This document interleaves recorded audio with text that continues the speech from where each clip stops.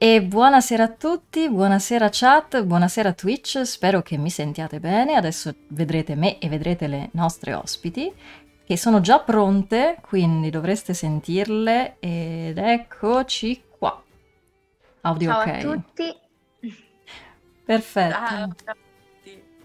Buonasera, buonasera a tutti, buonasera a tutti. Abbiamo qua, oh, abbiamo l'onore di avere sul canale Monica Volpe ed Eva Padoan, quindi grazie mille. Per loro stasera c'è il canale tutto verde, eh. Beh, cui- meritato, eh, direi. Meritatissimo, esatto, esatto. Vi salutano dalla chat, infatti sono, sono tutti super, super contenti oh, di questa, di questa cosa, anche perché eh, qui in tutte queste settimane abbiamo parlato tantissimo di House of the Dragon. Per cui siete delle super ospiti. Tra l'altro Eva con il vestito verde, proprio verde Alicent. Lasciato per l'occasione proprio, eh? Lasciato per l'occasione, esatto. Buonasera, come state? Cosa ci raccontate di bello? Come va? Come va? Come va? Tutto bene, tutto bene. Ormai, Siamo ormai... emozionate anche noi, eh. No, Siamo io sono emozionatissima, però no, no, è una chiacchierata davvero tranquilla. ehm, probabilmente c'è anche Marco Barbato in, in chat che sta, che sta ascoltando, il nostro Ciao, carissimo. Salutiamo. Esatto. Grande. Salutiamo il nostro caro Marco Barbato, esatto, adattatore della serie, adattatore di House of the Dragon per la serie italiana, appunto.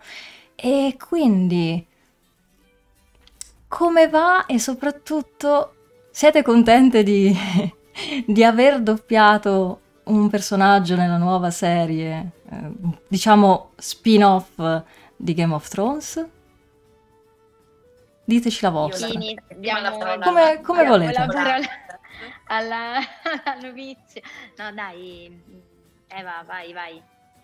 No, io sono, sono felicissima, fra l'altro perché Olivia Cook eh, era, è, un'attrice a cui sono particolarmente affezionata, avendola già doppiata varie volte e quindi quando mi hanno chiamato già ero felicissima. Io devo confessare che non, non avevo mai visto Il Trono di Spade. Ok. E, Siamo in due. Non c'è problema, non c'è Esatto. problema, non succede niente, vi giuro. No, perché ogni tanto qualcuno mi dice, mi dispiace, non l'ho visto, non c'è problema. C'è sempre tempo. Però, eh. C'è sempre Però tempo. devo confessare questa cosa. E quindi niente, quando mi hanno chiamato, mh, eh, però ho, ho saputo quasi subito che non subentravo da subito dai primi episodi, e che sarei subentrata appunto dopo, e quindi ho iniziato a vederlo perché comunque a livello lavorativo, fammi vedere un po' che succede in questa serie, poi dovrò subentrare io, eccetera, eccetera. E niente, mi sono appassionata tantissimo, quindi Oh. già dopo i primi episodi sono impazzita e quando sono arrivata lì per fare dal sesto episodio Sandro mi ha detto ma allora ma tu conosci la serie? Io so tutto e ho detto Sandro sono impazzita Oh. E quindi felicissima felicissima Monica? Eh, io anche, tantissimo, anche perché mh, è, è nata un po' per caso, io lo dico sempre, e avevo, mh, ho perso un provino per un Mhm. altro film, e- però con la direzione di Sandro Acerbo. E quindi evidentemente mi ha sentita e mi ha sentito e quindi ha detto guarda mh, ti distribuisco sulla nuova, sulla nuova serie, sarai Alicent da giovane, Emily, non so mai come si pronuncia, se Emily Carey, Carey... mm, Noi diciamo Carrie, ma in so. realtà ce lo inventiamo, Carey. quindi finché lei non si Vabbè. offende... Infatti noi continuiamo. E, e quindi sono stata a parte molto contenta di avere l'opportunità di lavorare con, con lui perché non avevo mai, a parte ecco questo provino non è andato benissimo, non avevo mai avuto modo insomma di, di essere diretta da, da lui. Mm, Per me è uno dei, dei più, sono tutti bravissimi, però insomma sono stata veramente veramente felice e poi la serie, che dire, poi anche io eh, ogni volta che andavo in sala poi per doppiare mi appassionavo e purtroppo volevo sapere di più, ma mh, poi per via di tante dinamiche che, che ci sono in sala, eccetera, non, non si può mai sapere niente. E quindi anche io ero sempre in attesa poi della- del, mh, diciamo, del, del turno successivo. E poi quando è subentrata Eva, io sono impazzita perché ho detto vabbè per la prima volta cioè, facciamo un per- ci, ci dividiamo un personaggio, ovviamente con due attrici diverse, però insomma al di là poi mh, siamo colleghe, però diciamo che nell'ambiente siamo anche molto amiche. Oh, io questa è una cosa bella. ragazza ah, vestito verde, quindi, quindi sono ancora più contenta questa è una cosa bellissima anche perché, appunto, per la questione dei provini, magari uno pensa che ci sia un pochino di mh, competizione, eh, ovviamente, per, per, cercare di avere il posto, di ottenere poi il lavoro. Certo. Però è bello invece sentir parlare del fatto che si, si può essere tranquillamente amiche e, e che comunque anche in un ambiente lavorativo che può essere molto difficile, magari come quello del doppiaggio, perché effettivamente rispetto a lavori come il lavoro d'ufficio dove hai uno stipendio fisso e tu sai che vai al lavoro tutti i giorni. La questione del doppiaggio è diversa perché devi vincere dei provini. Per cui, insomma, il lavoro te lo devi, tra virgolette, trovare in qualche modo, te lo devi esatto. procurare. E invece mi piace molto sentire che ci sono, insomma, queste storie di amicizia che vanno veramente oltre un po' questa sfida. Beh Sai, comunque, intanto credo che il doppiaggio sia, nonostante, vabbè, come in tutti i lavori, ha i suoi difetti, però è un lavoro molto meritocratico. Mm. Quindi comunque c'è, c'è stima fra noi, cioè a livello proprio professionale ci stimiamo e molto spesso mi capita magari anche di andare a fare un provino e di vedere, no, però uno fa sempre il suo meglio, però che pensi no, magari su questa parte però ci stava meglio e chiami allora la tua collega, però guarda che su questa parte secondo me questa è la tua e magari poi lo vince e sei felice per lei perché anche noi a parte siamo, cioè uno anche un po' di, non lo so, io per esempio sono super autocritica, quindi mi, mi esamino, faccio le mie, mi arrovello, no? E, e quindi hai anche un, come un occhio dal di fuori, no? Ti guardi un po' anche dal di fuori e lo vedi quando non, quando non vai su un provino, quando stai meglio su un'altra cosa. Alla fine c'è spazio per tutti. E, e poi c'è anche il fatto che tanti di noi si conoscono da quando sono bambini, cioè con tanti ci conosciamo proprio, siamo cresciuti insieme, poi una volta i turni non erano come sono adesso poverini, i bambini adesso, complice il Covid, mm-hmm. mi ha dato la mazzata finale, sono tutti da soli alle Gio, poverini, a fare, no? Eh. Noi eravamo tutti insieme, cioè film di bambini, eravamo dieci bambini in sala. Che casino! Esatto. però, però, bello, però immagino. Eravamo tantissimi, con l'assistente del doppiaggio ci veniva a raccattare. Che impazziva! esatto. Però Bellissimo. è chiaro che adesso ci sono amicizie trentennali. Eh, infatti, infatti. Tra l'altro, eh, hai giustamente detto che il lavoro del doppiaggio è meritocratico. Io ho avuto qua il piacere di mh, avere come ospite Francesco Cavuoto, che è stato uno dei miei professori eh, durante il periodo dell'Accademia di, di Jan Sante Pericini, e lui ha detto la stessa identica cosa, ha detto che comunque la questione del doppiaggio è meritocratica, cioè stai sicuro che se un direttore del doppiaggio sceglie quella persona specifica per quel ruolo è perché la sua esperienza gli ha detto che quella persona è quella giusta. Quindi è difficile che si possa sbagliare effettivamente. Per cui eh, devo dire che mm, nel nostro mondo, nella nostra società di, di, questi ultimi anni, sentire queste parole, insomma, questi incoraggiamenti e, e il fatto che effettivamente sia un ambiente eh, meritocratico eh, fa piacere, fa molto piacere. Quindi è una cosa molto bella. Intanto vi salutano dalla chat, vi, vi danno il benvenuto e sono tutti contentissimi di, di avervi qua. E io volevo chiedervi, voi avete citato Sandro Acerbo, che, voglio dire, per quelli che non lo conoscono, è la voce di Will Smith, è la voce di Brad Pitt, giusto per fare due esempi che possono essere ricordati. Proprio Così possono essere... Dei personaggetti. Esatto, piccini picciò. E lui è stato il direttore del doppiaggio quindi di House of the Dragon. E vi volevo chiedere, quindi, come è avvenuto il provino per Alicent? Cioè, come, come, come è andata? Vi siete candidate voi? Vi hanno chiamato?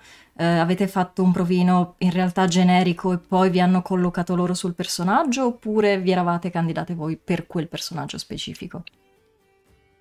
Allora, diciamo che di solito non, non, mm, non funziona che ci candidiamo noi, cioè magari io andrei a bussare a tutti e secondo me sto bene su di lei, su di lei, su di lei, no, quindi non, non avviene ciò. E solitamente o sceglie il direttore di doppiaggio perché magari appunto ha già lavorato con noi, quindi sa che tipo di vocalità abbiamo, sfumature eccetera e quindi diciamo ci distribuisce poi sui personaggi, oppure ancora, avviene ancora più dall'alto, quindi la committenza magari sceglie il personaggio, il nome, insomma, che vuole attribuire poi a, insomma, nella serie. Mm-hmm. Altrimenti c'è proprio il provino poi, che è fondamentale in quasi il 90% delle, delle lavorazioni. E, ehm, in questo caso io avevo fatto appunto un provino mh, per un altro film, non sono stata scelta per quel film, però mh, sono stata distribuita poi per House. Vabbè, perfetto, insomma, e, e quindi come hai preso la notizia? Cioè, quando te l'hanno no, comunicato? Io felicissima, perché poi inizialmente eh, non, avevo cam- non, avevo capito di che cosa si trattasse in realtà, perché eh, mi avevano detto solo mh, mm, eh, per il personaggio di Alicent eh, ci servono delle disponibilità. Mm-hmm. io lì per lì ero anche rimasta un attimo, ok, le disponibilità, poi tra l'altro in un periodo praticamente estivo, quindi andavamo incontro alle, alle vacanze e noi almeno un mesetto cerchiamo di, di, tener, di tenercelo almeno agosto, no? Lavorando poi tutto l'anno. E io dentro di me ho detto, oddio mio, e adesso mm. agosto che cosa faccio? Se eh. ho delle disponibilità, perché poi noi abbiamo iniziato a doppiare questa serie appunto quest'estate, quindi in sala praticamente eravamo solo noi perché erano tutti in vacanza. E mi ricordo Però perché Marco poi... Barbato mi scriveva tipo il 15 di agosto, Laura, ma com'è esatto, che si esatto, dice questa cosa? agosto. Esatto, è stato, però ne è valsa la pena. Guarda, sarei tornata anche dalle, non lo so, dalla Sicilia, sarei tornata comunque a Roma per, per doppiarla. Quindi sono veramente, veramente felice. Eva, com'è andato il provino? No, non, non c'è stato in realtà il provino. Io stavo lavorando con Sandro per un altro film di Netflix, mm-hmm. eh, Spiderhead Okay. E mentre facevamo gli ultimi turni, ho detto: Senti, Eva, ma tu quest'estate che fai? Ah, t'ha fregato così! Dico, che faccio? Boh, non... Ah no, perché c'è una cosa di cui poi ti devo parlare. E niente, è andata così. Poi Vabbè. sono stata, ti dico, super felice perché perché sì, perché sì, perché dai, bellissimo. Insomma, eh, caspita, cioè voglio Hai dire... Hai rinunciato ad una vacanza alle Hawaii Capisci? per doppiare... Davvero? Era un bel aneddoto, ma no. Ah, okay. no. Però, però, puoi sempre raccontarla così, diciamo. Esatto, Vero? pittoresco. Tra l'altro, voi avete doppiato comunque lo stesso personaggio a due età diverse. E ehm, quella, la, la Alicent di Monica è molto più dolce, più ingenua, proprio, è proprio piccolina, ti viene voglia proprio di abbracciarla perché la vedi fragile, come se fosse un uccellino in gabbia mentre l'Alicent di Eva è già una donna comunque adulta, più risoluta. E voi siete mai riuscite a parlare fra voi e a, non so, parlare del personaggio oppure cercare di confrontarvi in qualche modo oppure non, non c'è stato modo? Sì, ne abbiamo parlato. E anche molto. Potete, potete dirci cosa vi siete dette, come è andata? Noi siamo proprio Alicent, ma proprio team Alicent, convinte che certo. proprio fino alla morte, nel senso quindi figurati. E noi non possiamo parlare, non possiamo, non possiamo parlare con Giulia Franceschetti che sì, fa... non ne possiamo parlare. no, non ne possiamo parlare perché ci scanniamo. sì, sì, sì, sì. sì, E quindi... Però eh... no, comunque... Sì, sì, sì, no, dimmi, dimmi. No, no, scusami, dico, eh, ci siamo confrontati tanto, tra, l'al- tra l'altro avendo iniziato io mm. e, e, e, avendo io tanta stima per Eva, perché comunque quando io ho iniziato a fare doppiaggio Eva era già Eva nel, nel settore, quindi io ho veramente stima per lei al di là mm, al di là della stima personale anche lavorativa e, e, quindi ho chiesto inizialmente dei pareri anche proprio su, sul primo episodio perché comunque poi lei sapeva che avrebbe doppiato Alicent però da adulta. E, e, quindi da lì un po' è partito anche un po' la dinamica del, del confrontarsi, no? del dire magari se inizialmente questo personaggio è così, come sarà poi nel momento in cui poi l'avrebbe doppiato lei e quindi ci siamo date diciamo delle linee guida? Delle, delle linee guida, sì. dei suggerimenti. Di opinioni. È stato bello comunque. Anche... È stata bella anche questa cosa, alla fine abbiamo fatto metà e metà. Quindi proprio... È vero. Infatti, infatti, cioè immagino... pensavo, io, io pensavo di fare meno episodi, perché appunto vabbè, non, è, non ci hanno potuto spoilerare niente perché anche in sala è tutto molto purtroppo liberatorio, cioè, esatto. E, però io ogni volta che andavo al turno eh, dicevo ah, sto anche in questo episodio, ah, sarò anche nel terzo episodio, ah, anche nel quarto, eh sì, fino al quinto. Quindi comunque poi è stata anche una sorpresa proprio in divenire, perché e non pensavo alla fine ci stai più tu, nel senso, non so se si può un po' spoilerare, sì. Sì, ormai... Eh, perché alla fine tu ci stai nei, nei, primi cinque, io nell'ultimo non ci sono, quindi... È vero, è vero, è vero. Ma infatti eh, la, la cosa bella appunto è che ci chiedevamo poi quanto voi sapeste della, mm, eh, diciamo, dello script, perché ricordiamo comunque anche a casa che non è come uno spettacolo teatrale per cui ti puoi portare a casa il copione, te lo studi e poi insomma eh, reciti. In questo caso a doppiaggio tu vai ed è quel giorno, in quel momento specifico che scopri quello che devi doppiare. Quindi come, eh, come avete saputo insomma della durata del vostro turno, mettiamola così? Del, di quante volte sareste comparse, insomma, e avreste eh, potuto dare la voce a, a, ad Alicent? Cioè, l'avete scoperto di volta in volta oppure vi hanno accennato qualcosa prima? Settimana per settimana. Quindi Tant'è proprio... che all'inizio neanche loro sapevano, per esempio, che io non ci sarei stata per cinque episodi. Tant'è che a me anche all'inizio avevano chiesto la disponibilità da subito. Ok. Cioè, ci sei dal primo episodio? E poi piano piano invece vedevo che non entravo, non entravo, non entravo e ci sono arrivata piano piano, ma... Eh, all'inizio, poi loro quando poi arriva l'adattamento, ma è tutto all'ultimo perché facciamo proprio settimanalmente, ti chiama la società e ti dice hai tot righe, perché noi quantifichiamo un po' in righe, no? Certo. Mi serve un turno e allora lì sai che c'hai un turno, però quando vai a quel turno ancora non sapevamo quello dopo quanto avremmo avuto. Ok. Quindi era un po' così settimanalmente. Cioè loro ci avevano detto di tenerci sempre un, almeno un turno libero, diciamo e poi ce lo confermavano o meno a seconda della nostra presenza. Anche perché poi anche lo stesso Marco mi aveva detto che effettivamente eh, doppiavate proprio a ridosso delle puntate, cioè sì, sì. non è stato fatto con tanto, con largo anticipo, cioè eravate proprio lì lì. La settimana prima delle, ehm, della messa in onda. settimana prima della messa in onda, che però la messa in onda era in originale, quindi noi poi andavamo, quando usciva l'episodio in, in doppiato, sì. noi avevamo appena appena doppiato l'episodio poi successivo che sarebbe uscito comunque in originale. Eh, quindi cioè, è, stato, è, stato, un lavoro anche un pochino di, di corsa, mettiamola così, cioè con una certa pressione, eh, anche Beh, perché... Sì. sì. Cioè, eh, sì. so che ci sono produzioni che appunto riescono per fortuna magari a far doppiare almeno un mese prima, eh, però in questo caso appunto sentendo Marco comunque anche lui mi diceva guarda siamo sempre di corsa, sì, sì. infatti ogni tanto mi chiedeva delle cose che poi io guardando l'episodio due settimane dopo capivo, ah ma quindi mi chiedeva questa cosa, certo. effettivamente. E fra l'altro vi volevo chiedere, ma con la questione post-Covid, eh, perché lo stesso Edoardo Stoppacciaro all'epoca mm, ci raccontò che, insomma, post-Covid ovviamente dovevi doppiare da solo in sala a Leggio.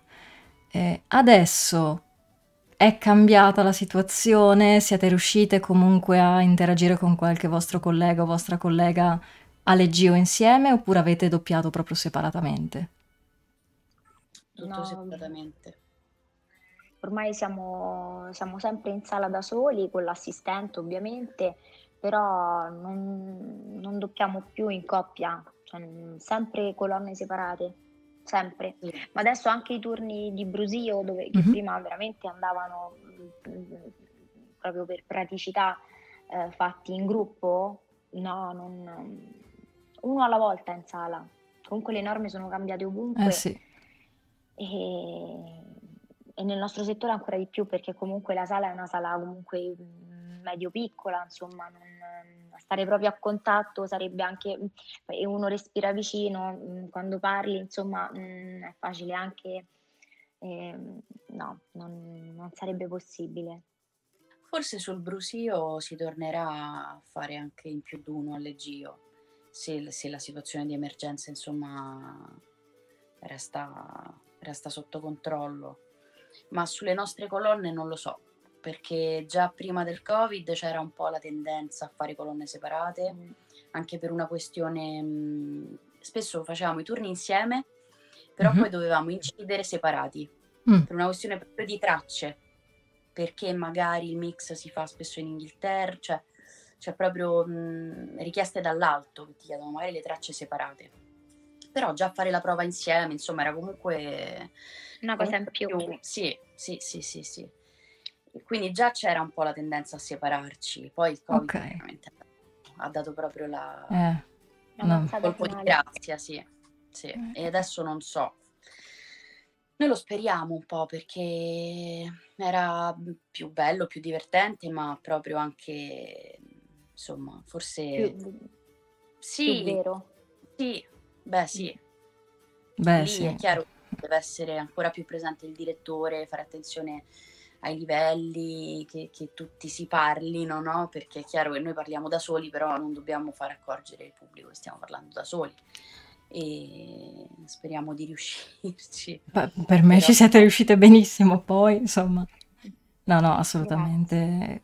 Mi è piaciuto veramente tanto il, il doppiaggio italiano. Mi sono riguardata tutte le puntate settimana scorsa per, eh, perché dovevo fare un video appunto sul recap di tutta la stagione e me lo sono riguardato doppiato. è stato, è stato molto bello sentire, sentire le vostre voci, poi sapendo che sareste state comunque ospiti. E quindi ho pensato, caspita, ma questa cosa poi gliela chiederò, come fanno a, a dare quella voce, um, re- rendere unica la loro voce in quel caso per quel determinato personaggio?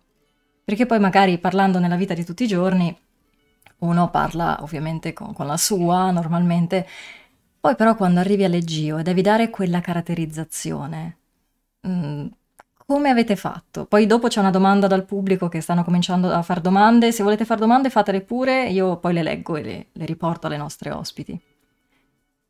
In che, in che senso però? Come... Nel senso, mm, ho notato che eh, magari per personaggi diversi riuscite a dare una mm, caratterizzazione diversa, cioè nel senso, ehm, per esempio, prendo te Eva che mi viene in mente, eh, tu hai doppiato Vittoria Pedretti in You e anche appunto la nostra Olivia Cook in House of the Dragon. Se le senti parlare, sembrano persone diverse, cioè sembra una voce diversa. Quindi come riuscite a fare questa magia? Perché veramente è, è incredibile. La stessa persona con la, con la sua voce riesce a dare delle declinazioni diverse al personaggio. Ah, sai, non è una cosa studiata chiaramente, a seconda del personaggio e dell'attrice che vai a Mhm. interpretare, ti immedesimi proprio e quindi si vede che esce un'interpretazione talmente diversa. A parte mi hai citato due personaggi che amo alla follia, perché anche Love io l'ho adorata a livelli inimmaginabili.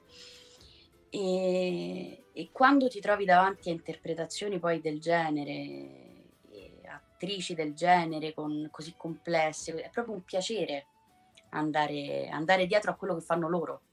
Perché quando poi l'attore, l'attrice è brava, metà del lavoro è fatto, nel senso che basta seguire loro e lasciarsi andare. Io poi sono una persona veramente empatica, Monica lo sa, anche Monica lo Poco, sa. eh? Poco, Molto- poco. molto sensibili siamo e quindi proprio mi immedesimo fino a sentirle proprio le cose. E beh, è molto bello, Eh, quindi, insomma, bisogna essere empatici per fare questo lavoro. Secondo me sì, secondo me sì. Anche perché effettivamente sì, eh, eh, suggeriscono sempre ai corsi di doppiaggio di guardare gli occhi dell'attore o dell'attrice, cioè di, di seguire quello, di, di, stare attenti a come si muove, a come, come gestisce anche lo spazio, cioè di, di seguirlo, di seguirla e di stare con lui e stare con lei. Sì. Quindi se... E poi a, diteci, a diteci. livello emozionale di sentire proprio, cioè mh, quando mi viene in mente eh, la scena in cui Alicent ha, eh, scopre che il figlio ha violentato la, mm-hmm. la serva, sì. che lì, lì parla con la ragazza e lei secondo me sinceramente si commuove per la ragazza, tant'è che poi va dal figlio e lo insomma... Eh. Yemena. E io mi, cioè proprio mi viene da pensare, ma, ma, se mio figlio facesse una cosa del genere, ma però nella situazione di Alicent, dove comunque sei la regina e quindi devi comunque dare un colpo, cioè cerchi proprio di metterti nei panni, no? Dici come, come reagirei io, come sta reagendo lei, e, e, in quel modo cerchi di tirare fuori le tue emozioni più vere, cioè non mm-hmm. cerchi di farla l'emozione, cerchi certo. proprio di certo. provarla e di riprodurla. Questo. Monica? Esatto.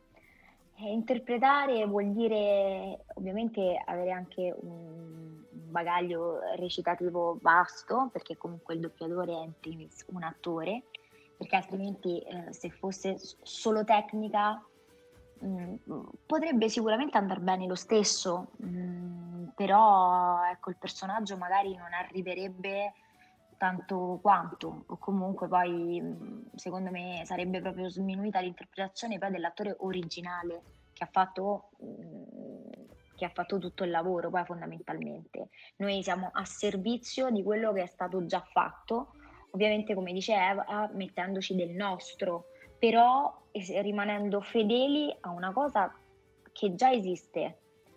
E, quindi io penso che comunque, corrispondendo alla tua domanda, recitare interpretando, sentendo e rimanendo comunque anche mh, mm, appunto fedeli al, al, lavoro che è stato già fatto. Questo. Senza fare troppo o fare poco, perché facendo tanto di più, eh, anche lì eh, facciamo solo il nostro poi. Mm-hmm se facciamo di meno eh, comunque non, non, facciamo un buon servizio per quello che è stato già fatto.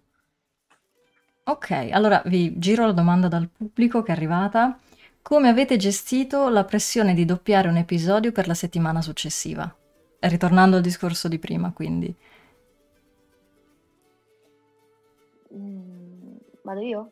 Sì, sì, sì, prego, prego. Allora, guarda, più che per l'episodio, mh, mm, per la settimana successiva, um, um, diciamo, um, avevo un po' di pressione per quanto riguarda, ehm, cioè da un episodio a un altro, perché soprattutto nella prima parte, appunto, con, con, con, la mia Alicent, eh, lei ad ogni puntata con questo, con questo arco temporale cresceva sempre di più quindi ho dovuto anche tanto modulare e cambiare la voce da un episodio a un altro e non ho avuto neanche il tempo, passatemi il termine, mm-hmm. eh, di, di, godermi un, una sola Alicent. Ok. Una come se una fase, brava, perché è come se ogni volta dovessi interpretare un personaggio non diverso, però con caratteristiche diverse, con un'evoluzione. Quindi non facevo in tempo, ecco, non ho fatto in tempo nel primo episodio a comunque cercare, ehm, diciamo, di appunto di, di, di mantenere delle note molto più leggere, che comunque poi sono le mie fondamentalmente, perché poi in realtà la mia grande difficoltà è stata poi il, è stato il passaggio invece all'età più matura. Mm-hmm. E, quindi per me la pressione, cioè io ho vissuto questa, questa, cosa della pressione più in questo che eh, ah, fra una settimana devo doppiare il secondo episodio, poi il terzo, poi il quarto e poi il quinto. No, anche perché ultimamente è una tendenza sempre più frequente quella di doppiare le serie settimanalmente e ci capita molto spesso con House of the Dragon, ma anche con tante altre serie, quindi siamo un po' abituati in questo. C'è un po' di ansietta, eh? Perché ti senti un po' che non... C'è un po' la pressione del fatto che dici, cavolo, mi viene un'influenza, eh. faccio ritardare la... la... Certo. cioè, stai un po'... Sì. Però poi piano piano ti abitui e, e che dobbiamo fare? Siamo esseri umani, quindi se, se succede un imprevisto, è capitato. Per esempio, a me è capitato quando ho avuto il Covid l'anno scorso, mm. Che una puntata di Station 19, sì. eh, quella, spin-off di Grey's Anatomy, sì. del fuoco, c'era la, la, la, messa in onda e quindi l'hanno, l'hanno doppiato con un'altra voce. Mm. E poi quando sono guarita, quando mi sono negativizzata, sono andata a ridoppiare la puntata e sulla piattaforma hanno, hanno montato comunque la mia voce. Però per, per, questioni di consegna, certo. comunque hanno dovuto mandare l'episodio doppiato con un'altra voce. E poi, insomma, si fa tutto poi alla fine. Ma infatti Davide Chevalier mi ha detto, guarda, i doppiatori devono avere una salute di ferro, perché eh, non sì, puoi sì, permetterti di ammalarti neanche un giorno, perché se guarda. Cioè, quel giorno lì devi, devi andare alle Gio, devi andare alle Gio, anche con la febbre a, a 90. Eh, però vabbè, in caso di Covid ovviamente le questioni sono, sono ben diverse, poi dopo la pandemia diciamo che è un po' cambiato tutto, anche appunto come dicevamo prima la questione di, della salute, della sicurezza, di doppiare ormai da soli e, e via così.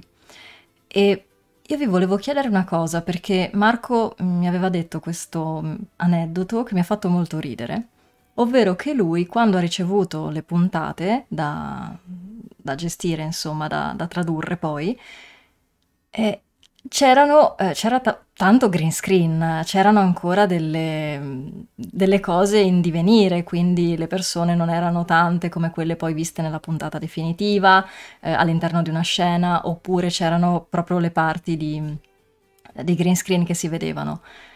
Eh, lo stesso Edoardo Stopacciaro mi ha raccontato che durante Game of Thrones lui aveva doppiato con un ovale intorno alla, alla faccia o alla bocca del, dell'attore o dell'attrice in questione. Nel vostro caso, siete state fortunate da vedere almeno tutto il viso di, di, delle vostre attrici, delle vostre Alicent, oppure eh, anche lì super segretezza? No, mh, mm, negli episodi che ho doppiato io, lei, lei la vedevo bene. Ok. E la nitidezza dell'immagine non è, non è quella buona insomma che poi va in onda, però no, almeno in quello ho avuto la fortuna di, di poterla vedere bene, di seguire, come dicevi prima te, tanto gli occhi, tanto la, la mimica facciale, mm-hmm. ovviamente poi anche il labiale, la bocca, perché comunque poi eh, dietro c'è un mondo, il sync, eccetera, quindi... Eh beh, sì. io, ma penso pure te, Eva, no? Era, l'immagine era buona. Sì, sì, sì, su questa lavorazione sì, per fortuna. Siete state fortunate. capita spesso di avere il famoso bollino dove vedi solo la faccia. Quella è tosta. Eh, in quale, nero, in quale sì, occasioni sì. vi è capitato invece? Eh, a me è capitato su... Per esempio, ultimamente mi è capitato su Tenet. Mm-hmm. e di Nolan, sì. dove già se lo vedi senza, cioè, così in chiaro, già lo devi guardare tre volte per capire. Sì. Quindi ti lascio immaginare col bollino. Era io proprio quando sono andata al cinema ho detto ah, quindi è questo il film. Ok.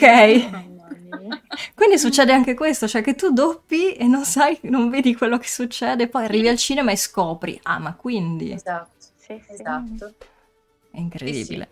Pazzesco. Comunque è com- volte ne... Dimmi, no, no, dimmi, dimmi. No, dimmi, no, di... vai, vai. No, che è, comp- è comparso un Marco Velarion in chat e sono sicura che sia Marco Barbato che ha cambiato cognome, è diventato Velarion e, e vi dice in onore della puntata esatto eh. e vi dice beate voi io non vedevo una mazza chiodata niente poraccio poverino dicevi scusami eh, oddio, che dice, ah, che certe volte, ad esempio, nei cart- a me è capitato nei cartoni animati mm-hmm.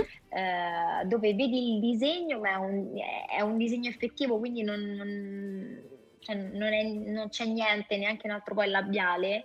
È un bozzetto quasi. È un bot- bravissima. Sì, sì. E no, e poi hai anche una voce guida, quindi mm-hmm. che non è una voce originale dell'attore, è una voce guida, quindi mm, magari anche con un, con un dialetto, non perché mm, io amo i dialetti, eh, mm-hmm. però magari ho questa voce guida eh, in, in faccio un esempio in palermitano e quindi mi porta un po' fuori perché le pronunce, i dittonghi, le cose. Quindi ecco, capita anche, anche, questo, quindi non abbiamo niente, abbiamo uno schermo quasi bianco, grigio, con, con, queste, so, con queste ombre e doppiamo su queste voci guida, quindi vabbè, capita. Sì, sì. Spesso capita anche che mh, delle battute magari che vogliono inserire nella versione finale, ma che ancora non hanno avuto il tempo di inserire neanche loro dall'America o da, mm-hmm. da, insomma, dal paese di provenienza, vengano doppiate anche da um, uomini sulle donne. Eh sì. Ogni tanto ti do delle battute fuori campo dove tu senti, eh, cioè la battuta attribuita al tuo personaggio, sì. che però senti l'originale un po' rock, rock, eh, sì, sì. Tu devi fare il tuo personaggio su quella voce, che chiaramente poi anche loro in originale metteranno la voce del personaggio giusto, però lì per lì è tutto molto work in progress. Molto, molto strano. Che poi almeno, voglio dire, quando devi doppiare un'attrice in carne e ossa cerchi di guardare il viso, le, come si muove, la mimica facciale, le microespressioni. Ma come fate con i cartoni? Cioè, è, è tosta. Tutto sopra le righe. Okay. Io lo dico sempre, certo, non perché sono di parte, perché io amo i cartoni. No, no, dacci consigli, d- dateci, dateci, tutti i consigli che, che, che reputate insomma Ma, utili.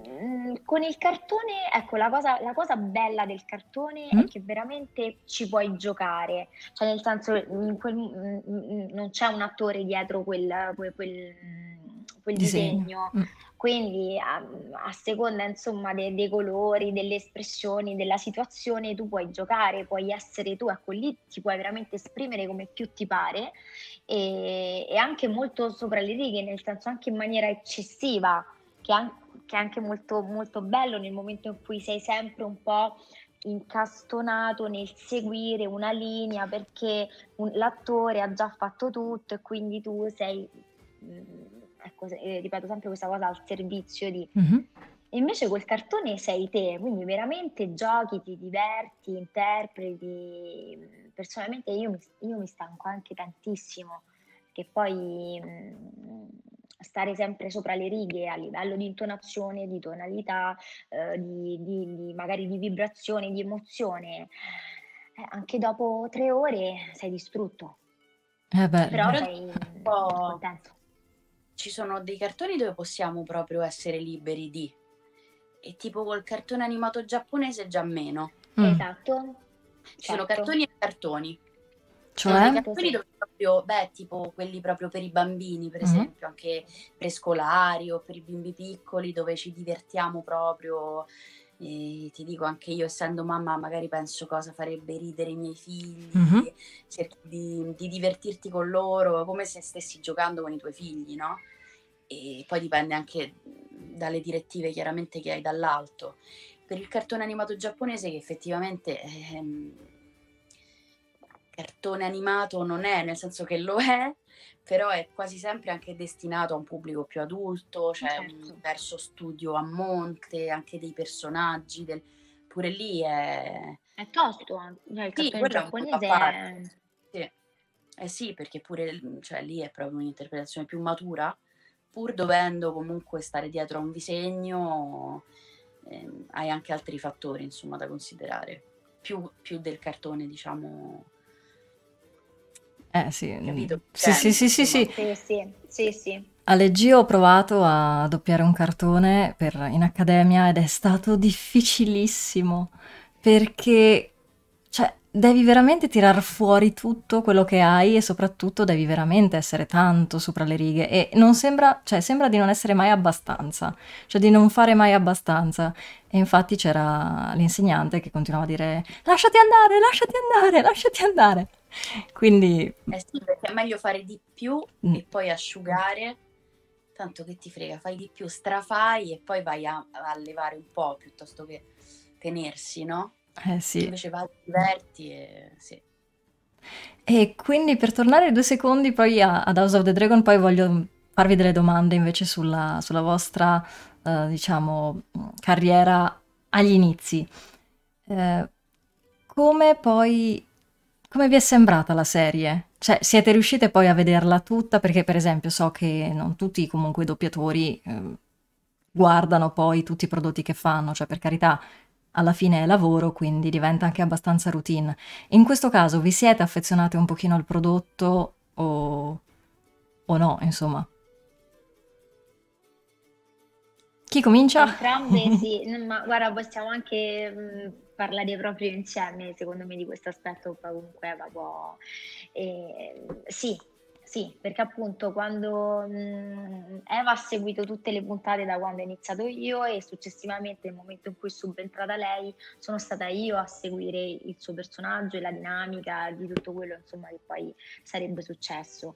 E devo dire, anche se io non sono un amante in generale ehm, di, questo genere, di questo genere, ho amato, devo dire che ho amato anche se poi io sono un po' sbadata sotto alcuni punti di vista, quindi magari sì, ecco le puntate me le sono. Che è successo? Dobbiamo sapere qualcosa?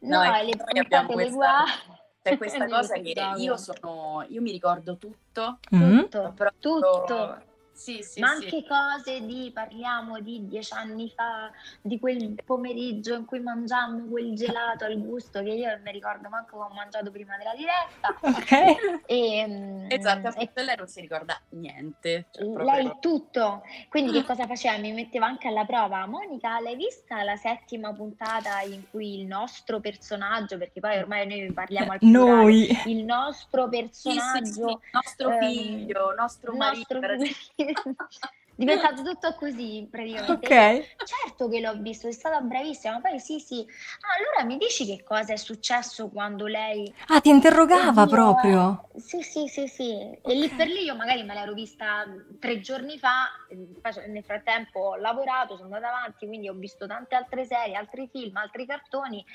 Dico, oddio mio mamma, che cavolo era successo in quel preciso istante? Invece lei tutto, lei è perfetta, lei su, di questa serie sa tutto. Oh. Quindi avanti, prego. Però non ho letto il libro, eh, quindi io so solo quello che Vabbè, è andato in onda. C'è sempre tempo per quello. Tanto, tanto il libro sta lì, quindi non c'è problema. Recupererai anche il libro, sono sicura. Avere il tempo. Eh. Eh, bisognerebbero... Bisognerebbe fare gli audiolibri dei libri di Martin, che in effetti mi sa che ancora non ci sono.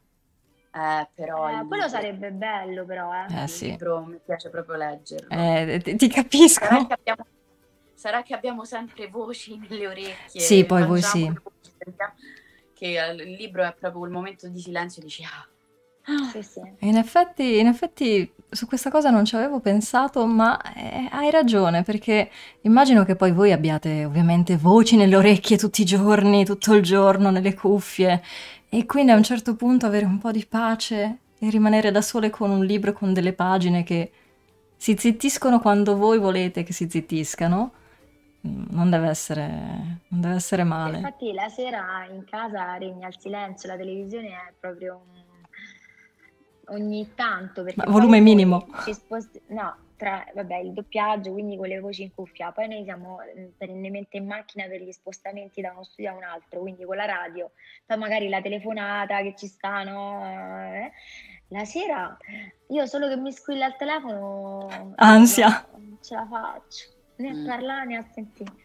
Oh, mi, mi, dispiace, vi sto costringendo a parlare più no, del... No, ecco, lo, sa- lo sapevo. no, no, questo è un piacere perché poi è una scelta, quindi no, cioè, no ci mancherebbe. Non sta piacere. Però in linea di massima quando poi uno dice no, ma tu che serie ti stai guardando? Che film ti sei vista ieri sera? Cioè, certe volte io dico niente perché non, non mi andava, quasi, mm-hmm. brutto dirlo, ma quasi rifiuto perché noi guardiamo lo schermo comunque dalle 3 alle 9 ore al giorno. Certo. Eh, se, in più abbiamo questi cellulari, no? che stiamo perennemente tutti quanti tra social, eccetera.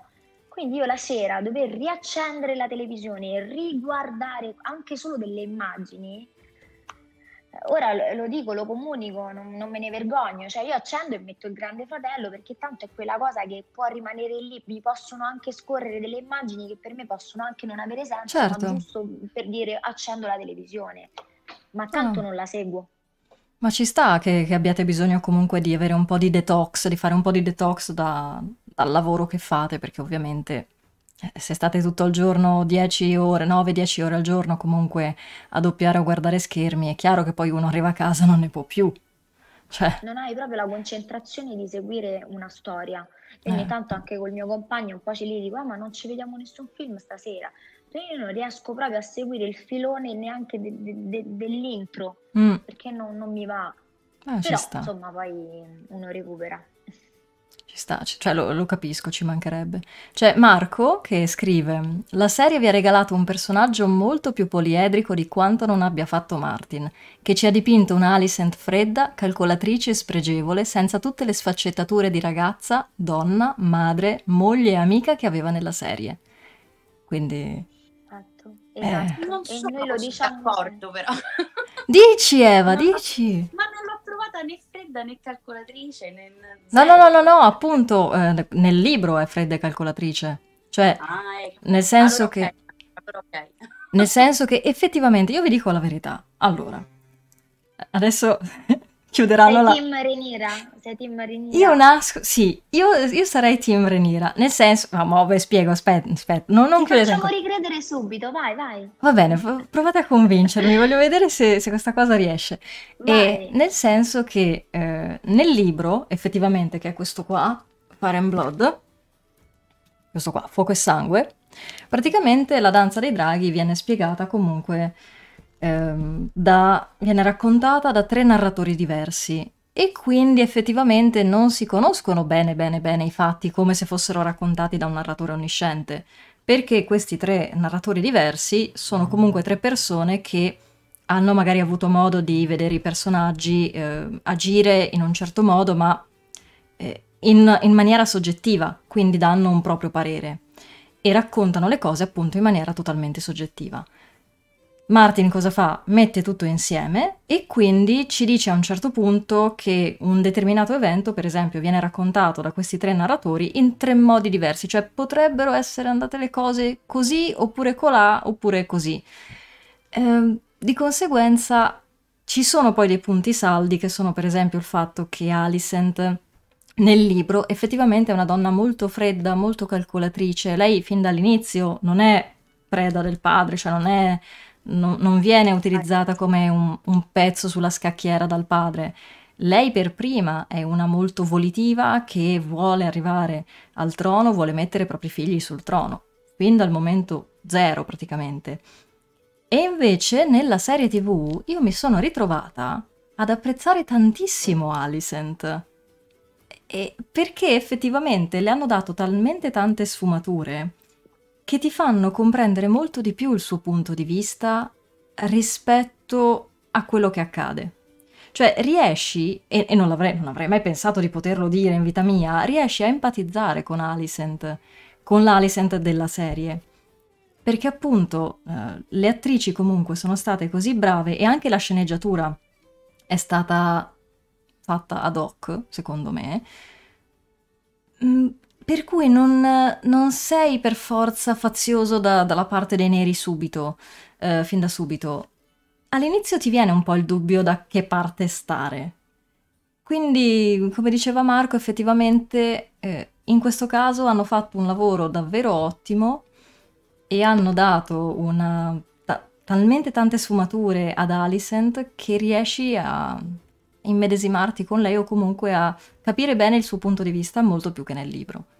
Quindi se volete leggere il libro io ve lo consiglio, eh, però cioè, magari per, per, vedere la differenza rispetto a quello che voi avete doppiato con appunto um, il personaggio di carta, che è molto sì, molto sì. più piatto.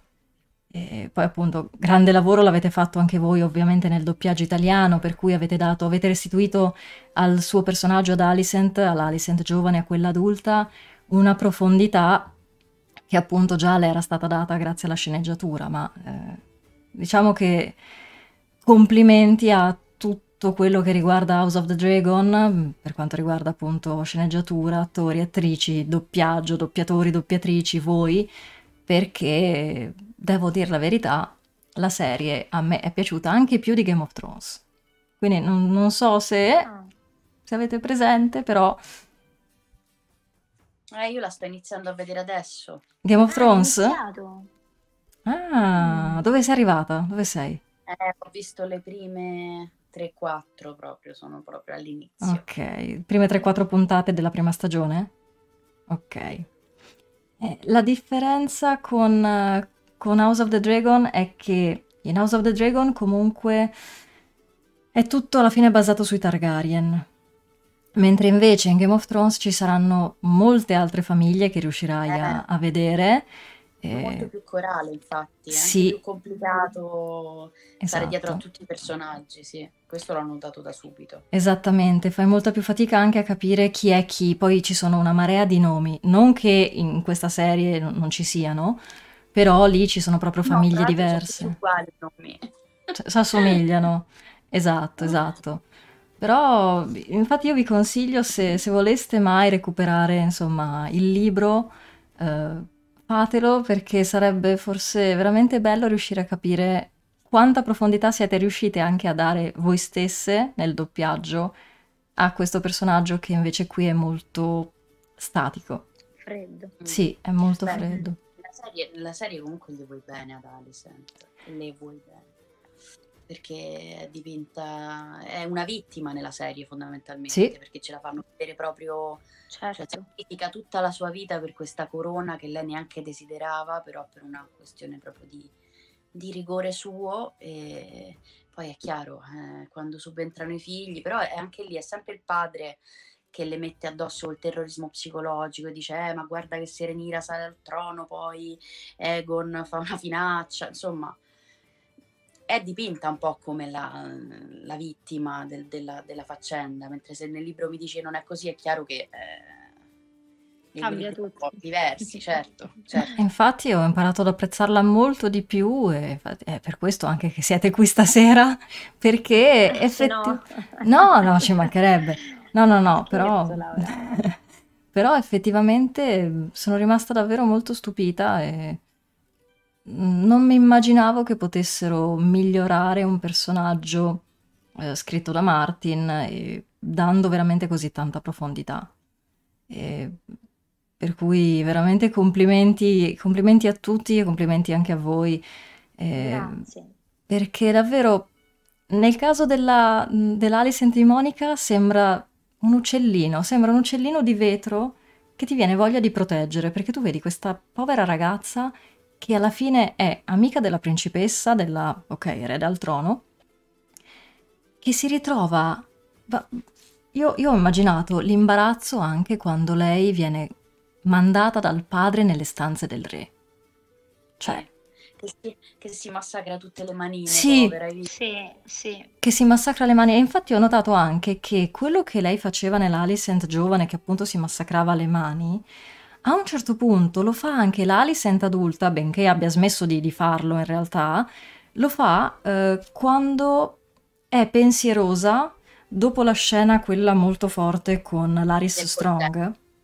Quella, quella con Laris in realtà, quella dei piedi. Ah, come no? Quella, quella scena lì. Io stavo pensando a quella dopo, dopo il Dopo la daga? con la daga, bravissima. Sì, che lei sta al camino e parla con il padre, pure lì si, Mm. si Sì, le mani. esatto, ci sono delle scene in cui si, si tormenta ancora e lei è, è un po' persa e vedi che sta pensando ad altro, però in quel momento forse torna un pochino l'Alicent giovane, preoccupata, ansiosa e, e che cerca di mantenere un certo contegno, ma fa fatica, perché comunque la situazione è quella che è, quindi insomma no- non è poi così facile eh, mantenere quella posizione. Per cui, come l'avete vissuta la, l'Alicent eh, prima tenera e poi comunque molto più, più forte, nonostante poi le succedano certe cose, come appunto la questione di Laris, non è che sia proprio simpatica, ecco. Cioè, è, è- è- è violenza comunque psicologica. Anche da, mm, da fan, Mhm. da spettatrice, Sì. da, da spettatrice sono rimasta comunque fedele. E non perché di parte, perché doppiavo la Alicent giovane, perché Eva poi ha doppiato. Mm, Le sono rimasta fedele perché appunto ho visto proprio l'iter, nel senso dove fondamentalmente lei non, non- non è riuscita a decidere niente per la sua Mhm. vita. È stata fondamentalmente una pedina prima del padre, poi del, mm, de- del marito, poi de- dei figli. Quindi io mm, questo, questo personaggio lo, invece lo porto molto mm, in alto sotto tutti i punti di vista. Non riesco a, a prendere le parti di Renira in questo caso. Mhm. Non- Beh, perché forse poi quella tenerezza in realtà la ritrovi. Io parlo sempre chiaramente solo della serie, però anche quando la vedi che è più, insomma, dura ne- nei, suoi modi, ha sempre de- delle, delle fragilità che poi escono fuori e che ti fanno apprezzare il suo essere proprio umana, eh, che, che ha nei confronti della stessa Renira, perché comunque lei continua a volerle bene e si vede Certo. e, e la prova anche a difendere, anche quando muore, mh, anche quando muore il re, Mm. lei eh, lì al tavolo, quando invece Otto senza scrupoli dice "Eh, vabbè eh, facciamo questo sacrificio, lei dice no, cosa? Cioè, non- e- oppure nei confronti dei figli, anche quando viene cavato l'occhio di Aemond, lei è... Lei in quel momento è disperata, è incredula davanti a questo marito che non prende le parti del figlio e, quando va da, da, da Renira con la daga che ti sbrocca, cioè io la capisco perché lei ha fatto veramente tutto anche per il re e si trova sempre a essere dietro, sempre Mm. dietro e anche da quando viene addirittura cavato un occhio a tuo figlio, poi lascia perdere, Raymond ha fatto la sua, c'è stata una lite che è finita male, ma eh, in quel momento Alicent non era presente, quindi vedi Certo. la scena col figlio con l'occhio cavato e il marito che dice vabbè dai adesso però vogliamoci tutti bene. E lei dice no scusate cosa, cosa, questo c'ha un occhio cavato, c'ha ragione, cioè nel senso mh, non puoi non immedesimarti. eh. Io l'ho trova- l'ho trovata molto tenera su tutta la serie, su- su- lungo tutti gli episodi, anche quando alla fine manda il libro della la pagina del libro che leggevano loro da bambine, per me è una tenerona. È un Sotto personaggio sotto. umano. Sì, ma, sì, sì, è infatti- è tirata in mezzo sempre poi nella serie, almeno ti parlo. Sì, sì, ma infatti assolutamente eh, è molto più umana. Per esempio, io l'ho notato anche, infatti mi sono anche stupita perché mi sono ritrovata a dire, oh, guarda, Alison, poi mi sono ricordata, no, aspetta, però, ok, ok. Vedi, perché sei legata al libro. Laura. Esatto, no, ma infatti ammetto che io ho fatto le recensioni per tutte le puntate. Sì. Io non sono stata di parte, io sono stata molto onesta e ho detto che infatti Alicent, eh, poi diciamo alla fine di tutto il percorso, quindi di tutte le puntate, è stato uno dei personaggi che mi hanno stupito di più in positivo perché le hanno dato proprio questa profondità, cioè il fatto che quando per esempio nasce il pupo che è di Arwen Strong e non è di Lenor Velaryon e Renira glielo porta ad Alicent per farglielo vedere, c'è una scena bellissima in cui Olivia Cook accarezza il- la capoccetta del bambino, ma fa un'espressione veramente come se fosse la nonna, cioè mh, è intenzionata a voler bene a questo bambino, se solo fosse effettivamente di Lenor Velaryon e non di Arwen Strong, di un altro.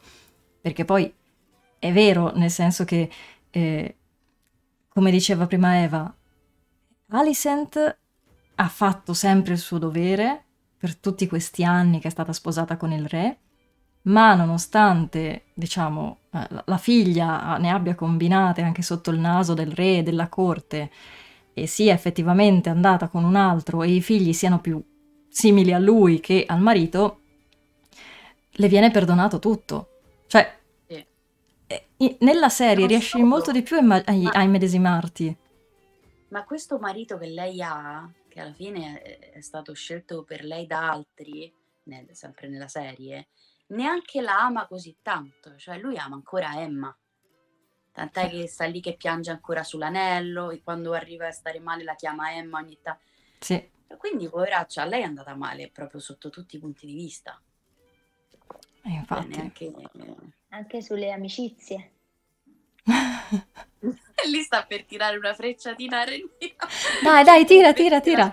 No, no, vabbè, però lei è rimasta fedele poi, ovviamente poi dopo un po', insomma, è come dire, eh, ogni volta non posso prendere i calci nel sedere e tenere la mano sul cuore, cioè a un certo punto levo la mano e pure io inizio a dare i calci, però diciamo che, che comunque lei per tutta la serie, cioè si evince che appunto vuole bene comunque a Renira e, e, nutre un affetto e sarebbe anche disposta a far salire Renira al posto del figlio sul trono, quindi insomma dai, non, non si può essere...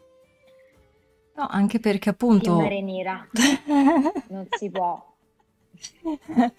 Va bene, vostro onore. Ci penseremo. Scherzo, scherzo, vabbè, è molto soggettivo. Sì, no, Però carità. a me il lato umano è quello che prediligo sempre in tutte le circostanze. E dalla serie un po', diciamo, un po' di parte, perché comunque poi è il personaggio che abbiamo doppiato, quindi comunque poi ti, ti medesimi, ti coinvolgi, sei proprio affezionato a quella cosa che hai fatto. Però ecco, da spettatrice comunque avrei preferito mm, la, la, sì, Alicent. Mm.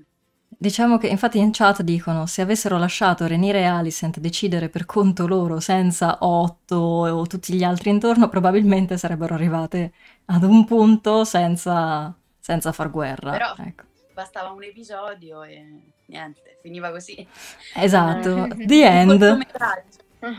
Esatto, cortometraggio, in effetti. Però sì, diciamo che Alicent, poverina, si è ritrovata abbastanza mossa comunque dal padre che fin dall'inizio poi l'ha costretta ad andare a sposare il re e poi ad avere figli con lui e poi comunque ha sempre cercato di manovrare sia lei sia il re attraverso anche di lei un pochino. E però abbiamo visto anche noi all'inizio nelle prime puntate come Alicent da giovane eh, abbia creduto a Renira quando Renira le aveva detto io non ho fatto niente con mio zio Damon e Alicent le ha creduto così tanto che Certo. poi ricordiamoci che eh, ha fatto licenziare suo padre. Certo. Quindi lei ha garantito per, per Renira con lo stesso Viserys e poi il padre è stato mandato a casa e quando poi l'ha scoperto Alicent secondo me quello è stato il primo momento in cui ha cominciato a fare crack il loro rapporto Eh, Sì. sì. Sì, perché lei ha allontanato alla fine l'unico affetto che aveva, perché i genitori, per quanto possono essere magari non, non giustissimi, ma sono sempre i nostri punti di riferimento, eh, l'ha allontanato per il bene di Renira, che poi alla fine nei suoi confronti è stata così sincera. Non dico che ha tradito lei, perché Renira gli potrebbe pure dire, ho capito, fatta affari tua, però. però, però sì, lei si è, cioè, si è trovata proprio sola, poverina, completamente sola. Tant'è che poi a un certo punto all'Aris lo dice, no? Prima di far tornare, mm, e prima che torni Otto, dice proprio che lei si sente completamente sola, ma in effetti è vero. Lo è.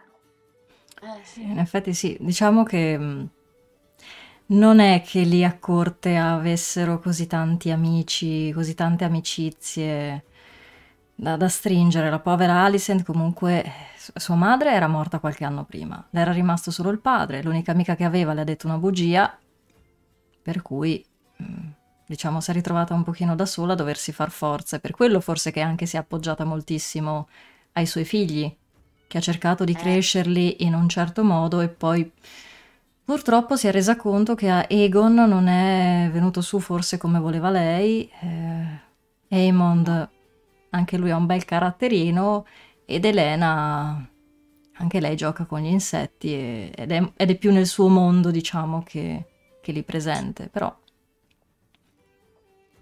Vabbè, dai, Laura, quindi mettiamo un'alta torre lì dietro, dai. Vai, cambiamola. Dai, su. Beh, beh, Allora, io voglio bene a voi e voglio bene all'Alison del- della serie, Però...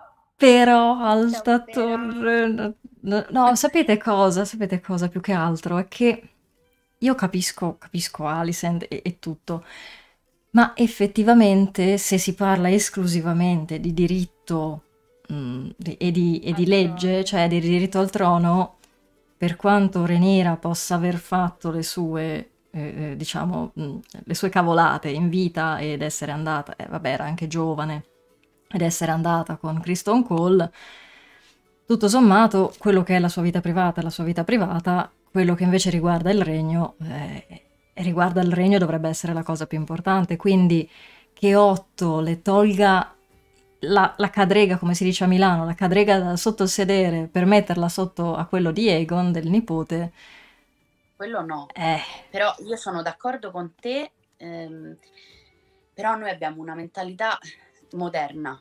beh certo, mentre, certo. eh, è chiaro che una volta eh, separare la vita privata dal regno non si Eh. poteva tanto fare. Tant'è che se fosse venu- venuto fuori veramente che i figli di, eh, di Rhaenyra in realtà non erano, figli, non erano Velaryon, probabilmente sarebbero stati Eh, fatti fuori. fuori tutti. Eh, quindi, e quindi in realtà era, era un, un crimine proprio, nel senso non potevi tanto farti gli affari tuoi. Potevi berti un po' più di quel teuccio, È un po', il un po', del giorno dopo. un- un po' più te, diciamo, Un po' doveva... di più. Mm, Diciamo po' di- che separare le due cose, mm, Mm, mm, mm, mm. capito che intendo? Sì, sì, Era- sì, no, ma hai totalmente ragione. Cioè, noi effettivamente ragioniamo poi con la nostra mentalità del 2022, però è chiaro che pure... Diciamo, anzi, vedi che figa, giusto, si fa gli affari suoi, ma che ce ne frega di chi sono i figli, noi siamo capito per... eh, è chiaro, no? eh, Però una volta Ah, allora, io ti dico che poveretta ci ha avuto sfortuna perché adesso eh, potevano anche nascere effettivamente con i capelli almeno come i suoi, anche perché la, Esatto. la genetica di Martin è un po' barbina, eh, parliamoci chiaramente. Eh, Martin stesso non è che abbia chiarito molto bene questo punto, però mh, diciamo che Rhaenyra effettivamente è stata sfortunata perché per quanto Lenor si sia fatto bellamente gli affari suoi con tutti i suoi amanti e lui ovviamente non poteva rimanere incinto, e, e Rhaenyra invece sì, e quindi sì, forse in quel caso avrebbe dovuto bere un po' più di tè della luna.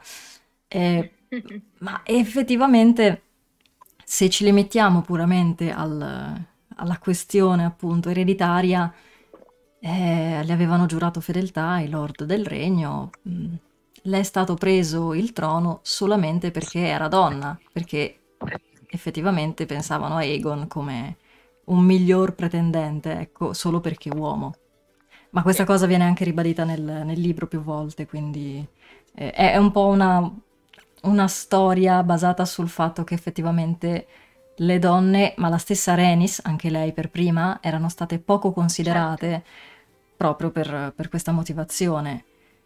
E effettivamente non dovremmo neanche stupircene più di tanto, perché non è che viviamo proprio in un mondo che non sappia cos'è il patriarcato eh, o cos'è il maschilismo. Mm, Quindi a volte magari noi stessi ci stupiamo e guardiamo una serie TV e diciamo, eh però, guarda quelli lì come sono, come sono maschilisti, che vogliono far salire Aegon al trono al posto di Rhaenyra, e poi magari non ci rendiamo conto che situazioni simili, tra virgolette, succedono anche comunque al giorno d'oggi con Ancora magari, oggi. esatto, con le donne che non hanno lo stesso stipendio degli uomini oppure che non viene data la stessa Esatto. possibilità perché magari una donna in azienda eh, può effettivamente eh, crearsi una famiglia e dover stare a casa, Rimanere, rimanere eh, certo.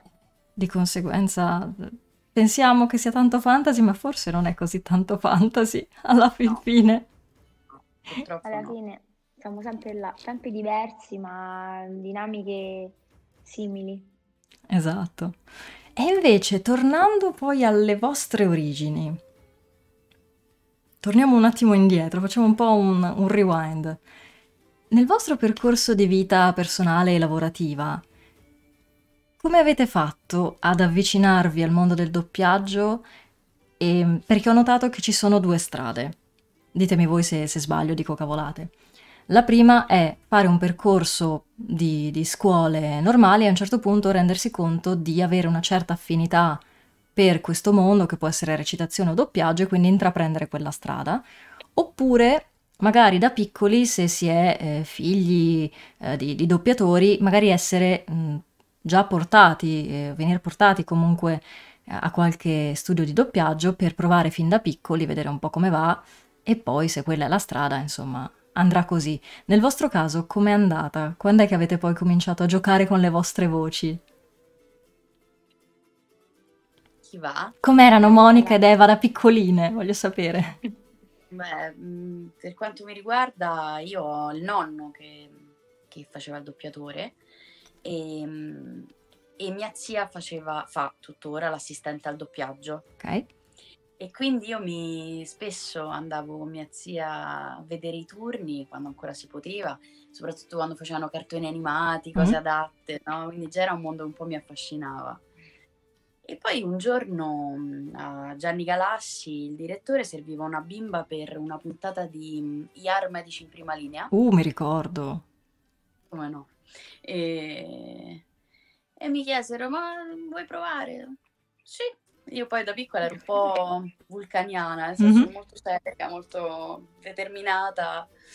E quindi andai, andò bene, e da lì piano piano ho ingranato e ho fatto sempre di più.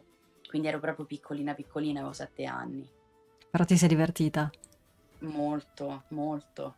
E avevo la puntata di YAR registrata in VHS. Ah.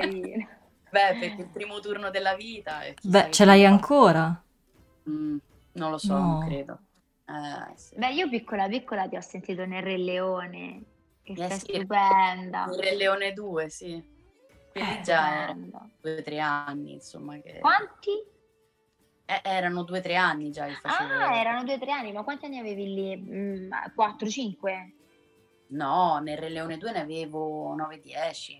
Eh, sì. Era stato bello perché avevamo fatto proprio i provini, ah. Col provino pure del canto. Oh, e... dopo c'è una domanda sul canto, eh? Vincerlo è stata una bella soddisfazione già da piccolina. Bellissimo. È bello, bellissimo. Mm-hmm. Monica? No, io ho iniziato, mhmm, cioè il doppiaggio non era proprio nel nelle mie fantasie, non non esisteva Io so che tu hai fatto lo scientifico, giusto? Io ho fatto lo scientifico, Anch'io, sì, ok. mi sono iscritta ah sì? No, Poi... stimo tantissimo, posso dirvelo. Eh, guarda, io e siamo proprio... Mamma, Ma guarda. E... Io mi sono pentita, avrei dovuto fare o l'artistico o il classico, è stata la peggior decisione esatto. della mia vita. Quindi... Guarda, siamo in due, è stato vabbè 5 anni in più. No, però successivamente io poi sono di Latina, vivo a Roma ormai da non lo so neanche più da 15 anni, sto a Roma.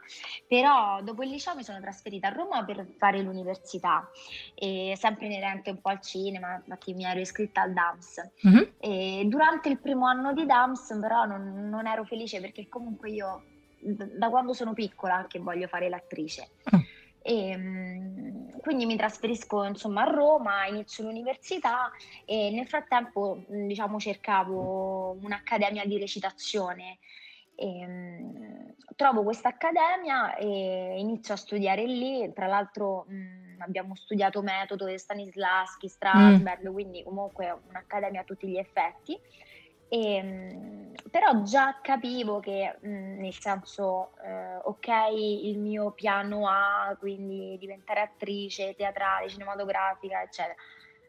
Però oggettivamente eh, già era tangibile la cosa di dire ok, sto studiando, però poi dopo chi è che mi apre le porte mm. a qualcosa? Nel senso sì, posso essere io, però fondamentalmente dovevo anche un po', mh, avendo anche una famiglia che insomma mi ha sempre seguito, supportata, però ehm, diciamo che ci voleva un piano B. E, e, il piano B fondamentalmente poi è diventato il piano A perché è diventato il doppiaggio. E, però per caso, perché mia madre mh, leggendo un articolo trova un, diciamo, questa scuola di doppiaggio e da, il maestro era Giorgio Lopez. Mm-hmm. E, e, mi disse: Senti, Monica, ma mh, prova a fare un corso di tecnica, di tecnica anche al doppiaggio, perché comunque hai anche una voce particolare. potrebbe essere anche un settore, come diceva anche Eva, che poi veramente è così, meritocratico, Mh. dove giustamente non, non conoscendo eh, l'attrice, sì, ma l'attrice di cosa? Dove- perché non lo fai? E io, ma non lo so, doppiaggio, ma... Poi dopo, mh, evidentemente poi non- il caso tanto per me non esiste, però insomma mi sono cimentata mh, in questa scuola, in questo corso. Io lo dico sempre, eh, Lopez è stato diciamo il primo a credere in me Mh. e, e da lì poi è iniziata insomma tutta la tiritera dei provini, eh, ma io ho appena iniziato, già, giustamente tutte le mie colleghe, colleghi insomma eh, lo fanno da quando sono piccoli, quindi arrivare, cioè, Eh. la competizione io lo dico sempre, perché non provo invidia, ah, l'ha vinto lei, perché per me la competizione è con me stessa, perché comunque a livello pratico io non potrò mai avere l'esperienza di Eva o di tante altre mie colleghe, perché comunque c'è, c'è proprio una tempistica differente. Quindi io sono competitiva con me stessa, quindi da, da dove sono partita e dove sono arrivata e dove magari uno no, poi col tempo vuole arrivare, ma per se stesso. Quindi per quello forse io anche mi trovo bene con lei, perché con Eva, perché non c'è competizione, a parte che abbiamo due vocalità completamente differenti. E poi non, non si può, cioè sarebbe veramente sciocco voler competere con, con- con persone, con colleghi che lo fanno da tutta la vita.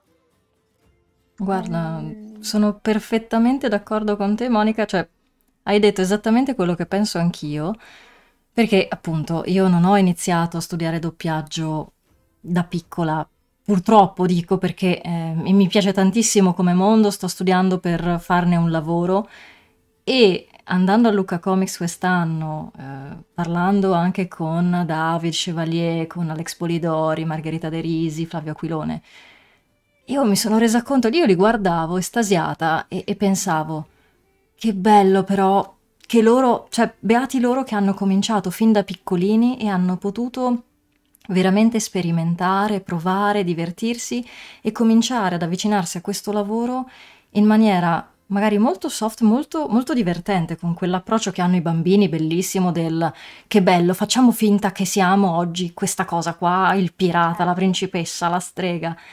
E, e poi sono riusciti effettivamente a farne un lavoro. E io purtroppo non ho avuto questa, questa fortuna e anch'io soffro tantissimo la competizione, ma molto di più anch'io con me stessa, perché mi faccio sempre schifo, sono sempre molto critica, forse troppo, non lo so, devo capire ancora questa cosa, però sì, cioè io sento le, le doppiatrici e dico, cavolo, come vorrei veramente fare anche solamente metà di quello che sta facendo lei. Quindi anch'io provo tantissima ammirazione e invidia in realtà no, cioè mi, mi piacerebbe eh, l'invidia diciamo in positivo ma per la questione Sì, del, senso del percorso. senso... Sì, sì, magari di Certo. cominciare prima un percorso che ti rendi conto poi che vuoi cominciare adesso. Infatti volevo anche chiedervi, secondo voi c'è un'età giusta per cominciare a, a doppiare, per cominciare a studiare, oppure cioè, c'è un'età massima eh, o si può fare a qualunque età, secondo voi? C'è speranza? Sì, sì, sì, si può fare a qualunque età. Ci sono anche bambini che iniziano da piccoli e invece poi si, si- magari guidati non troppo bene dai genitori, vengono un po' messi sotto pressione e a un certo punto non ne vogliono più sapere. E ne abbiamo visti di bambini che magari lavorano per qualche anno e poi quando diventano indipendenti dicono proprio ciao, vado a fare altro. Quindi alla fine l'importante secondo me è eh, la passione, prepararsi una buona base, perché comunque è un lavoro dove bisogna studiare, non, non ci si può improvvisare, a meno che, ecco, quel- diciamo il vantaggio di iniziare da, da bambini è quello che proprio ci cresci dentro. E quello è un vantaggio, senza dubbio. Eh, sì. Però, però secondo me con lo studio e con la passione si può iniziare a qualunque età. È chiaro, ci vuole anche una base di talento proprio, eh, perché quello purtroppo non è un lavoro solo tecnico che dici si, Mm. si può imparare. Una base propria ci deve essere, però se c'è quella si può iniziare a qualunque età. Con la voglia e con l'impegno si può iniziare a qualunque età. Certo, sarei ipocrita a dirti che mh, mm, è più difficile. Certo, è più difficile. chiaro. Assolutamente. Però si, Però si può fare. E ne abbiamo anche di esempi, no? Per esempio, qualcuno che ti viene in mente? Eh, per esempio, eh, Valentina Pavazza sì. ha iniziato da comunque da piccolina, però non era, non era bambina. Ok. Pure lo stesso, lo stesso Edoardo Stoppacciano esatto. sì. ha iniziato da piccolo. Edoardo, esatto. tra l'altro, lui era iscritto a giurisprudenza e gli dicevano lascia sì, perdere sì. il doppiaggio, lascia perdere che non fa per te che quando ti trovi un vero lavoro, queste cose qua. Infatti Edoardo era venuto qua a raccontarcelo e poi lui a un certo punto non ce la faceva più, ha sbroccato, ha mollato giurisprudenza ed effettivamente si è lanciato sul doppiaggio.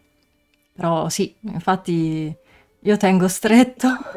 Che sono anche, sono anche validi, nel senso, sono fior fior di doppiatori. Cioè.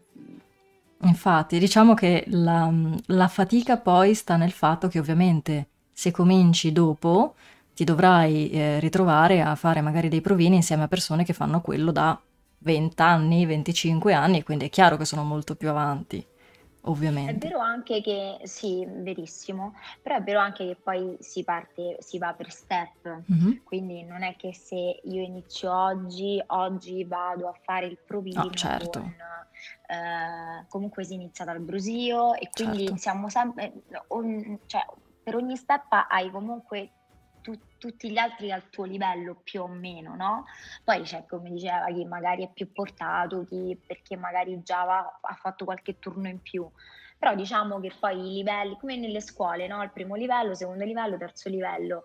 Quindi è difficile che da, dai primi turni di brusio tu ti possa trovare a fare il provino per il protagonista con magari, non so, con Francesco Pezzulli, ecco. È comunque a step. Però poi mh, mhmm, io parlo per me, ma solo mm-hmm. per la mia esperienza, perché appunto poi ho iniziato dopo. E è bello anche questo, è il partire da ok, inizio con il brusio perché non so neanche di che cosa si tratta, insomma devo, devo iniziare da qualche parte per poi arrivare a, a, ad avere dei ruoli, a interpretare dei ruoli che, che, che comunque fanno parte della sfera un po' dei protagonisti, nel senso comunque dei personaggi che ti danno soddisfazione. Perché poi ti può dare soddisfazione anche il brusio, perché quando inizi anche mh, paradossalmente questa cosa... Ecco, chiedono che cos'è il brusio, quindi se vuoi anche spiegare in chat. Il brusio è, è, il turno di doppiaggio fa, in cui si fa rabarbaro, cioè nel senso sono delle piccolissime battute anche in fuoricampo, in campo, eh, non lo so, poliziotto 1, infermiera che passa e dice salve, il reparto è, è qui dietro. Quindi sono delle battute cortissime che comunque fa, hanno la loro importanza nel film, nella serie e sono anche più difficili, cioè viene, questa cosa lo so che può sembrare paradossale, ma mh, una battuta, quando tu hai una battuta e quella battuta ci devi mettere tutto, quindi devi far anche vedere al direttore no, che magari... Dare tutto è, lì. È, è, è, è, allucinante, cioè certe volte è meglio in gergo il pippone delle dieci righe sì. che però poi no, è un po' interpreti, che dice oddio in quella battuta ho sbagliato quell'intonazione, quella, quella sfumatura, mi sono giocata la carriera, perché poi comunque eh, piano Beh, piano. Questa cosa comunque la ritroviamo un po', almeno per quanto mi riguarda, nei trailer. Eh. Esatto. Fare i trailer è difficilissimo perché tu devi dare tutta l'intensità di quella scena e anche di più perché comunque i trailer sono belli pompati, no? Per uh, voglia. andare al cinema e devi entrare in quello stato emotivo così, senza un prima, senza sì, sì. dare tutto con quella battuta. Cioè, il trailer è, è difficilissimo. E infatti ogni tanto sento dei trailer e c'è, se non sbaglio, Luca Ward che è super carichissimo, cioè una cosa in- incredibile, dici ma come fa? Ah, cioè, sì, ma stai calmo però. Eh, esatto, cioè, con tutto il rispetto per Luca Ward che magari ci segue sempre da casa, ma ti viene un po' da pensare sì, ma stai calmo, va bene, ci vengo al cinema, non ti preoccupare, metto la giacca e arrivo. No, effettivamente, effettivamente sì, cioè, Dalla chat vi chiedono una cosa, vi chiedono quali sono, sono curiosi di sapere i riferimenti professionali vostri per quanto riguarda il mondo del doppiaggio, sia del presente che del passato. Ma i riferimenti, eh, nel Se avete, se avete qualcuno a cui, cioè magari una doppiatrice o un doppiatore che, Ah, che vi sono piaciuti particolarmente, che vi Mhm. hanno, cioè, vi hanno ispirato in qualche modo, insomma. Certo. Ma in realtà non ce n'è uno in particolare, ce ne sono tanti. Io Me stessa. tantissimo i- tantissimi miei colleghi e mie colleghe e poi torniamo un po' al discorso di prima, noi abbiamo avuto la fortuna di lavorarci a leggio, Mm.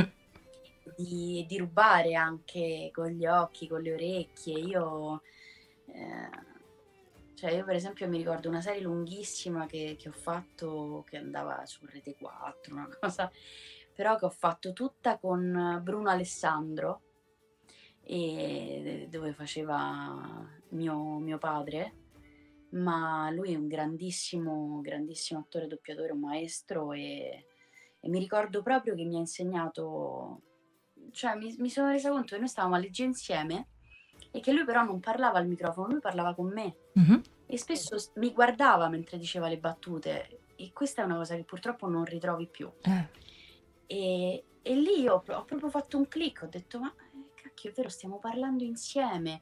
E lì entra comunque, un mecca- cioè, comunque aver avuto la fortuna di lavorare con i mostri sacri, ma proprio a contatto.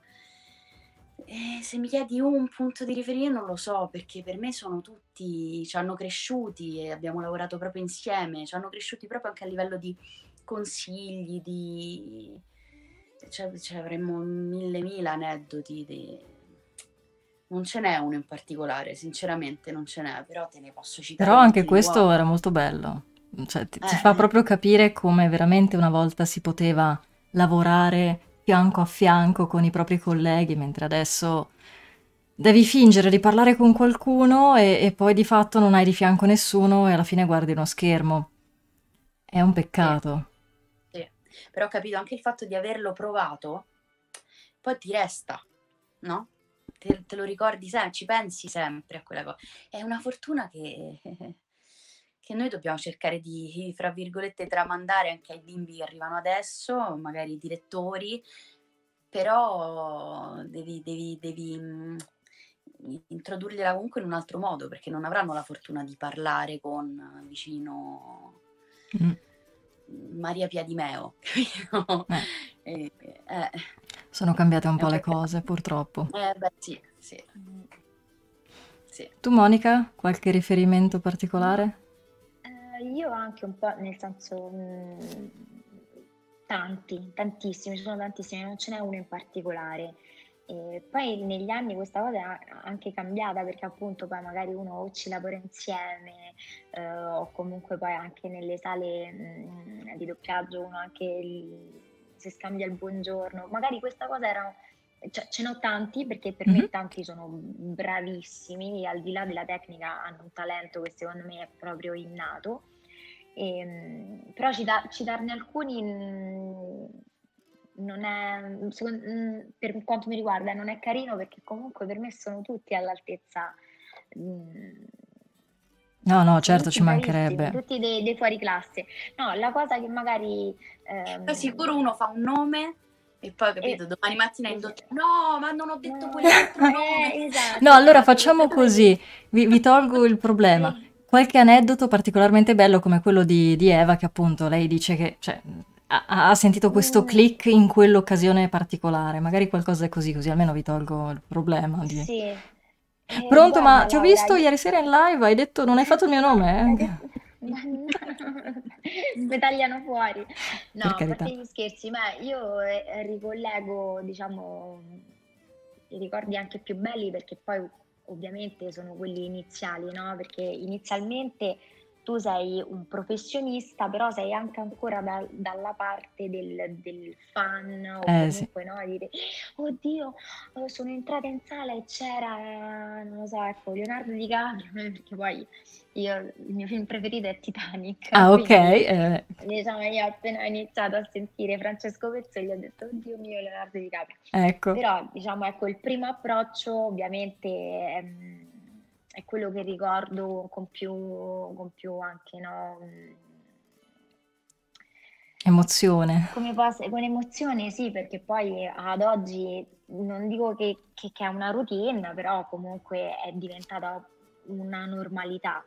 E ti faccio sempre il nome di Giorgio Lopez perché appunto ho iniziato con lui, quindi anche in sala io ho continuato poi a lavorare con lui e a Leggio quella voce rimane, rimarrà comunque per sempre perché mm, il monologo di quel film bellissimo Eva aiutami perché io eh, Eva aiuto. bellissimo di Giorgio Lopez. Eh ho capito ne avrà eh, fatti vari. quello con Danny De Vito Big Kauna? quello? Oddio dove c'è Danny DeVito che fa un monologo lunghissimo, eh, tipo mm, eh, ricordatevi di volere sì, bene. Sì, The Big esatto, Kauna, esatto, quello. esatto, bravissima. Io ti ho detto, no, male che io l'ho anticipato. E, mm, per me quel monologo, Mamma mia, sì. cioè, a parte la sua voce che proprio, cioè, però quel monologo è la sua voce e viceversa.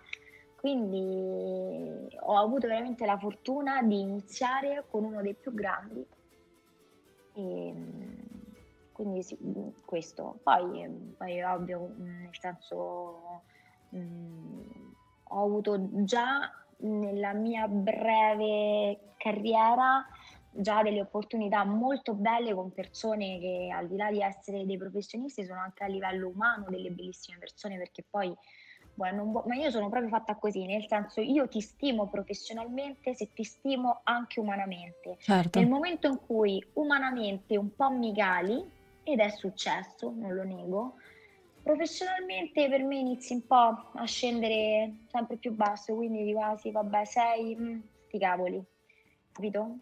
Sì, sì, sì, beh. Non posso fare nomi, eh? No, no, no, no, non te li, chiede- non te li chiederei mai, no, davvero. No. Eh, scherzo, no, però non li, non li farei. non li No, no. Però è così, cioè per me mh, la parte umana è molto più di quella professionale, mh, non ce la faccio. No, ma ci mancherebbe. Poi immagino anche come... eh, ne parlavo di questa cosa anche recentemente, ne parlavamo anche prima.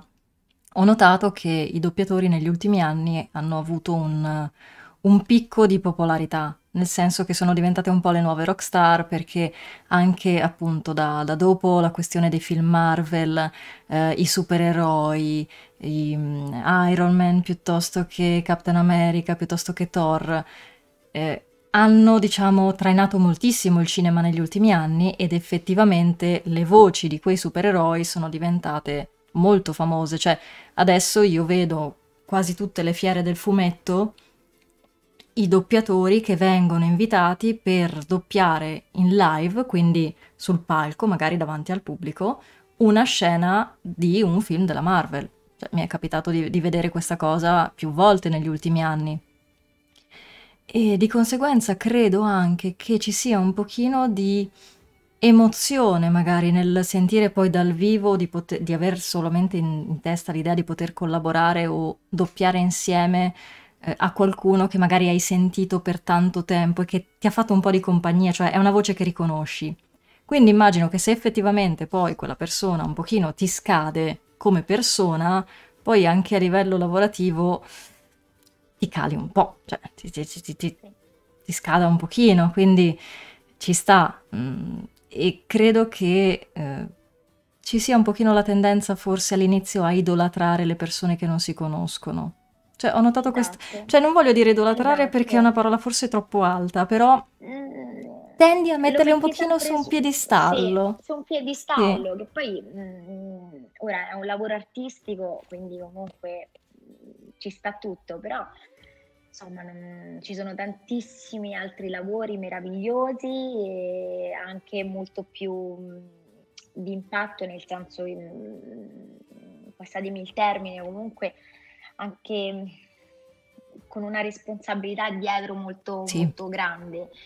E, però ecco, tutto questo hype è, è giusto che ci sia perché appunto è un ambito artistico, eh, però poi mh, un conto è il personaggio, un conto è la personalità e la persona, quindi Mm-mm. se uno fa, mh, fa man bassa di tutte e tre le cose senza scindere, allora ecco uno fa sempre solo il fan. È vero, è verissimo. Beh, questo un po' in tutti gli, in tutti gli ambiti, però, no? Sì. Sì, sì, sì. Poi vabbè, voi ovviamente con il fatto che appunto fate un lavoro ehm, che riguarda, cioè che viene visto comunque da tante persone e che quindi ha un certo grado, tra virgolette, di popolarità, è chiaro che poi le persone magari tendano un pochino a, a mettere qualcuno sul piedistallo senza capire che poi in realtà è una persona normale e anche quella persona va a fare la spesa e avrà delle giornate no, avrà delle giornate sì, non è detto che sia simpaticissimo, non è detto che sia antipaticissimo, cioè ci sono le mille sfumature come nella vita di tutti i giorni, però effettivamente io ho notato questa cosa, poi non so se anche in chat l'hanno l'hanno notata, ma appunto da, dall'avvento degli Avengers, comunque dei film della Marvel, c'è stata un po' questa escalation di eh, portare in palmo di mano tantissimi doppiatori, soprattutto i doppiatori dei, dei supereroi, quindi eh, per carità ricordiamoci che sono persone normalissime, cioè...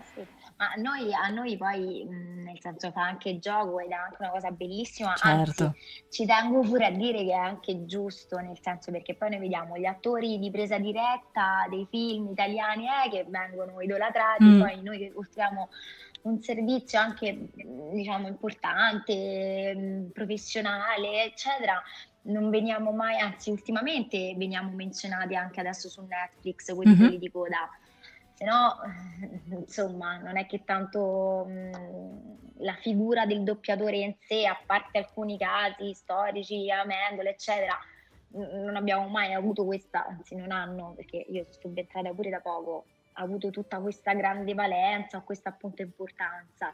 Quindi da una parte è anche carino e anche giusto un minimo un riconoscimento. riconoscimento. Giusto. E, cioè, qui, a me ovviamente poi mh, va a favore, quindi fa gioco che insomma poi mh, questa cosa riguardo ai doppiatori.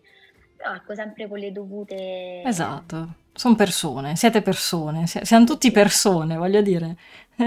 Abbiamo tutte le giornate buone e le giornate cattive, cioè ci sta, ci sta. Capita, capita a tutti. Sì, ecco, questa è la tendenza, cioè io suggerisco sempre, ma in realtà lo suggerisco anche con altre persone che non facciano questo lavoro, con persone che si vedono spesso sui social, cioè di non idolatrare mai nessuno, perché cioè, siamo tutti persone, adesso mm, ci sono anche persone magari famose che, che si incontrano in giro, appunto, eh, che magari hanno un sacco di follower sui social, ma ricordiamoci sempre che non è che il numero dei follower definiscono la persona, quindi... Cioè... Anzi, solitamente eh, adesso vediamo mm, tantissimi personaggi che hanno queste spunte blu, milioni eh. di follower, poi nella vita fondamentalmente che, fa? che cosa fanno? Esatto. Che, che fai? Mm-hmm. Che cosa mi vendi? Che cosa... Fuffa! Non vendo sogni ma solide realtà. Esatto, non voglio generalizzare, però certe volte, ma anche con, con Eva, no? Mm, perché poi noi parliamo un po' di tutto, ci ritroviamo anche a dire, mm, e noi abbiamo questi numeri, mm, poi gente che magari dice, che fa nella vita, non si sa proprio che, che cosa, sì. hanno dei numeri che tu dici, eh vabbè, ma quelli tirano perché eh, hanno i numeri, eh, i numeri, ma i numeri... De che? Cioè... Per cosa?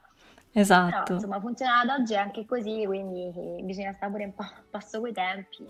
Sì, sì, no, ma infatti io ricordo sempre questa cosa, cioè evitiamo di appunto idolatrare le persone, di metterle troppo su un piedistallo, perché poi quando magari eh, abbiamo la possibilità di parlarci e magari mm, ci aspettavamo qualcosa di diverso, ci rimaniamo pure male, quindi per evitare di avere delle aspettative deluse, insomma, è sempre meglio andare un pochino con cautela, ecco. Quindi, giusto? Cioè, ci sta ci sta come cosa. Esatto. allora, vi chiedono eh, quale attore o personaggio sognate di interpretare? C'è un, un sogno. Vado io? Vai, vai, vai. Dai, io lo io perché Ce l'ha, ce la l'ha. sirenetta. Oh, No, io devo, cioè, facciamolo. devo fare La sirenetta. un, un bel cartone Disney perché sono una, una grandissima appassionata di cartoni. Io amo follemente i cartoni. Quindi io mi auguro di fare la sirenetta.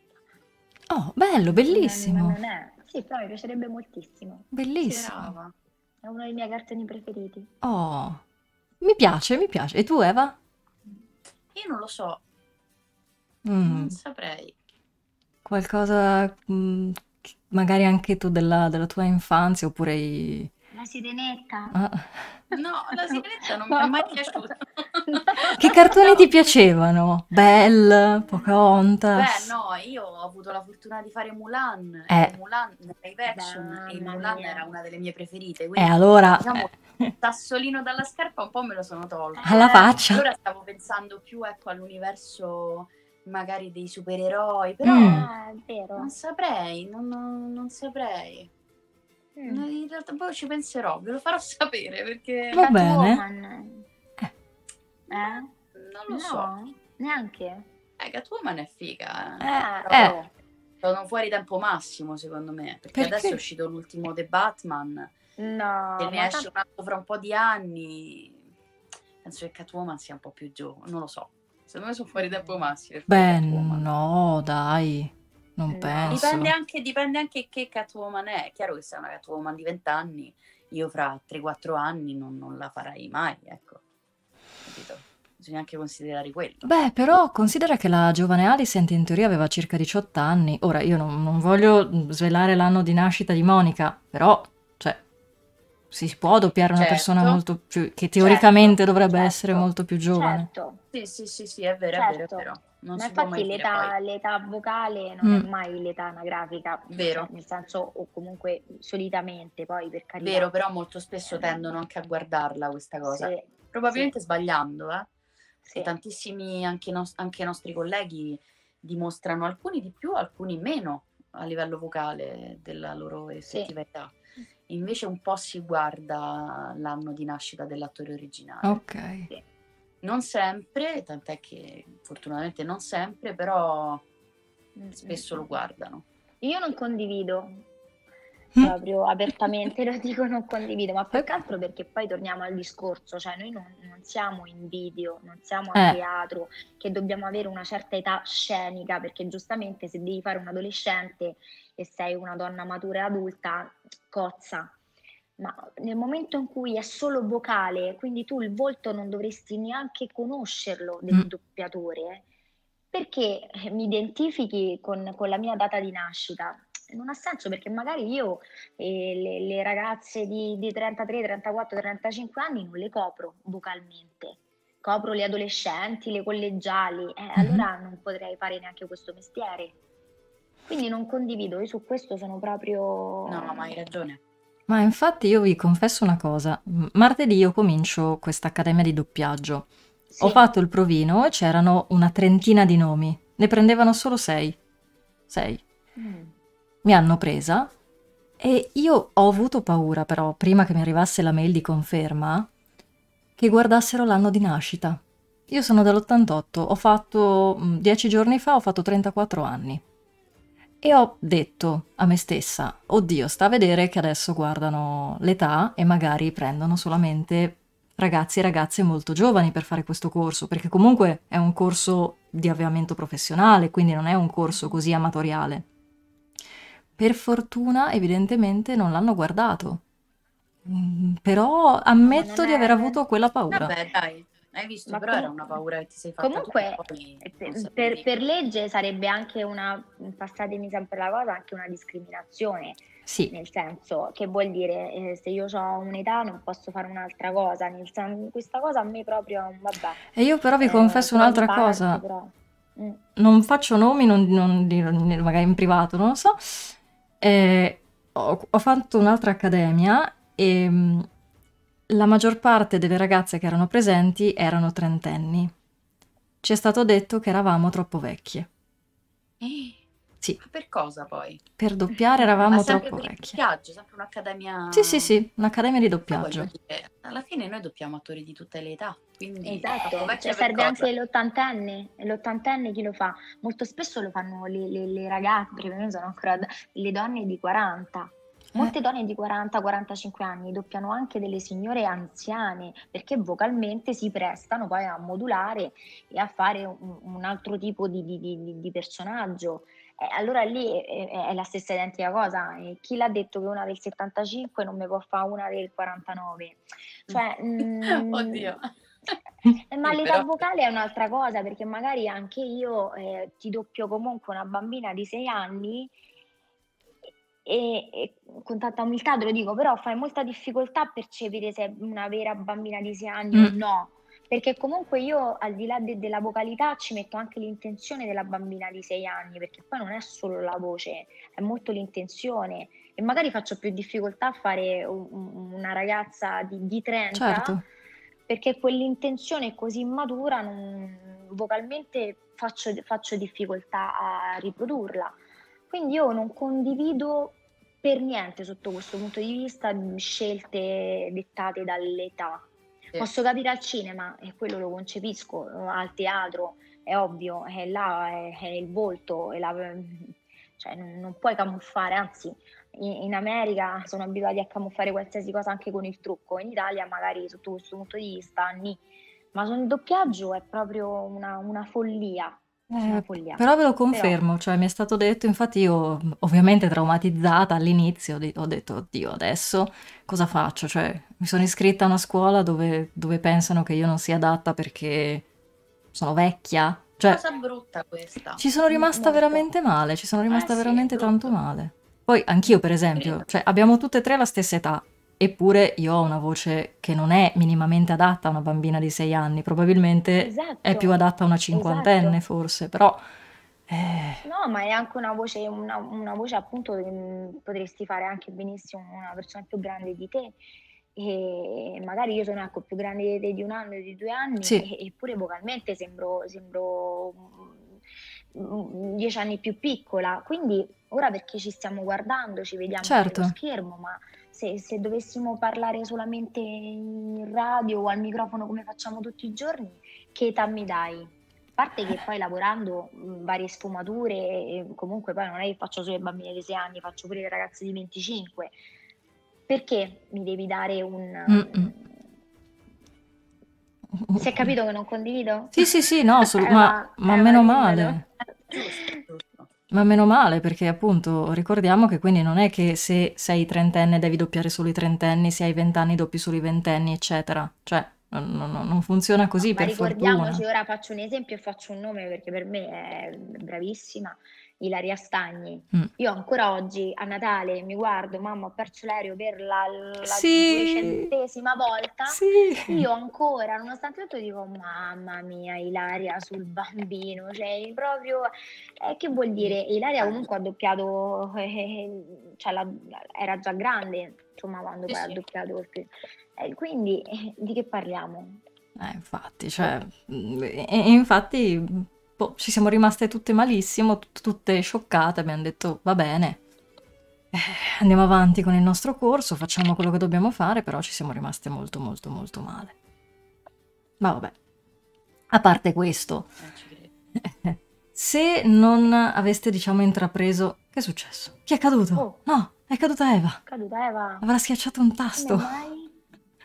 Avrà schiacciato un tasto, vediamo se, se si riconnette. Aiuto. Siamo... Non so se mi scrive... Mm, vediamo se, se ci scrive. Poi. Vediamo se ci scrive qualcosa. Oppure no. Siamo... Aspetta, intanto che siamo sballate posso fare così. Mm-hmm. Oh, ci rimetto sulla schermata a due. Ole, adesso vediamo un po' dove sei tu. Eccoti Intanto aspettiamo che, arriva, che arrivi. So. Li hai scritto tu? Eh, non so se no io devo levare. Aspetta, no, giusto, giusto, hai ragione. Allora le scrivo. Ok, abbiamo perso Eva. No, okay. comunque, comunque sì, ci siamo rimaste veramente tanto male. E... Sì, sì, però ness- cioè, io lo dico sempre, nessun altro all'infuori di me mi può allevare il sogno o comunque l'obiettivo. Mm. È il tuo parere, posso non condividere, ma non lo posso fare mio perché non mi appartiene e perché non voglio farlo mio. Quindi, ok, faccio finta di non averti neanche ascoltato, perché poi è una cosa che veramente è fuori a me, a me proprio mi manda ai pari, ovviamente poi è il mio lavoro, io ci campo, certo. quindi se inizia a diventare anche un iter, eh, eh, lì anche io vado in difficoltà perché poi di che di, di, cosa campo, cioè come mangio, nel senso poi mi reinvento e va bene, però fondamentalmente perché? Perché è proprio un fattore di discriminazione, vuol dire che tu eh, a seconda dell'età che ho mi dai un valore vocale o mi... perché?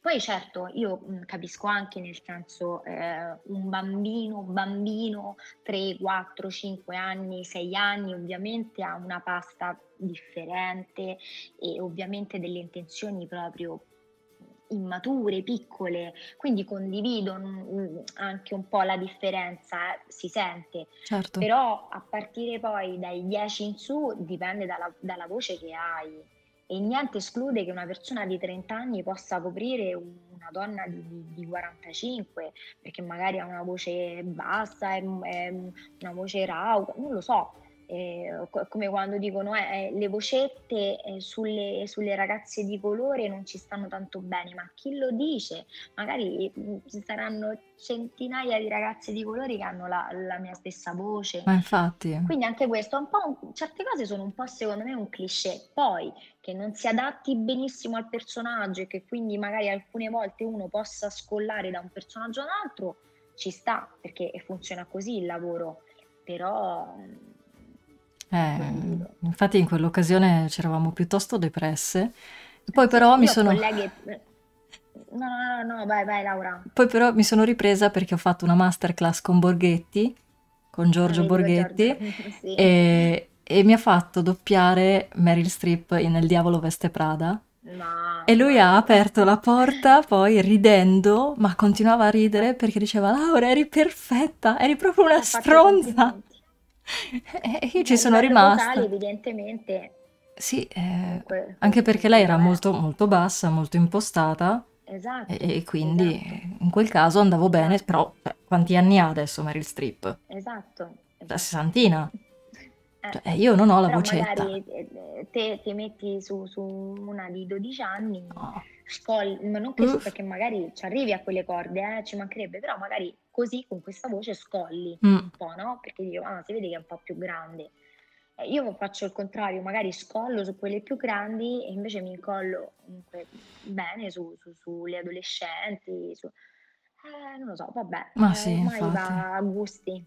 Infatti ormai quell'accademia comunque è, è stata archiviata, è finita e Brava, insomma eh, brava, sono andata chiudiamo la avanti. chiave e buttiamo la chiave. Sono andata avanti e quindi adesso si comincia con un'altra, con un'altra accademia dove per fortuna appunto non hanno guardato evidentemente il mio anno di nascita, Certo, va bene certo, così. ma la na- ma- ma- mm, ma poi sono molto particolare eh, perché io poi penso, ma dentro di me io ho tutte le età che ho avuto ovviamente fino, fino ad oggi, Certo, quindi io posso essere qualsiasi tipo di cosa. Poi è ovvio, se mi metti in video, eh, eh, lo vedi che non ho 13 anni, 15 anni. Però ad esempio ti faccio un esempio su House, sempre Mhm. eh, tra Alicent e Renira, e- e- Eh, nel senso a livello vocale, e Alicent eh, giovane quanti anni avrà? 15, 13?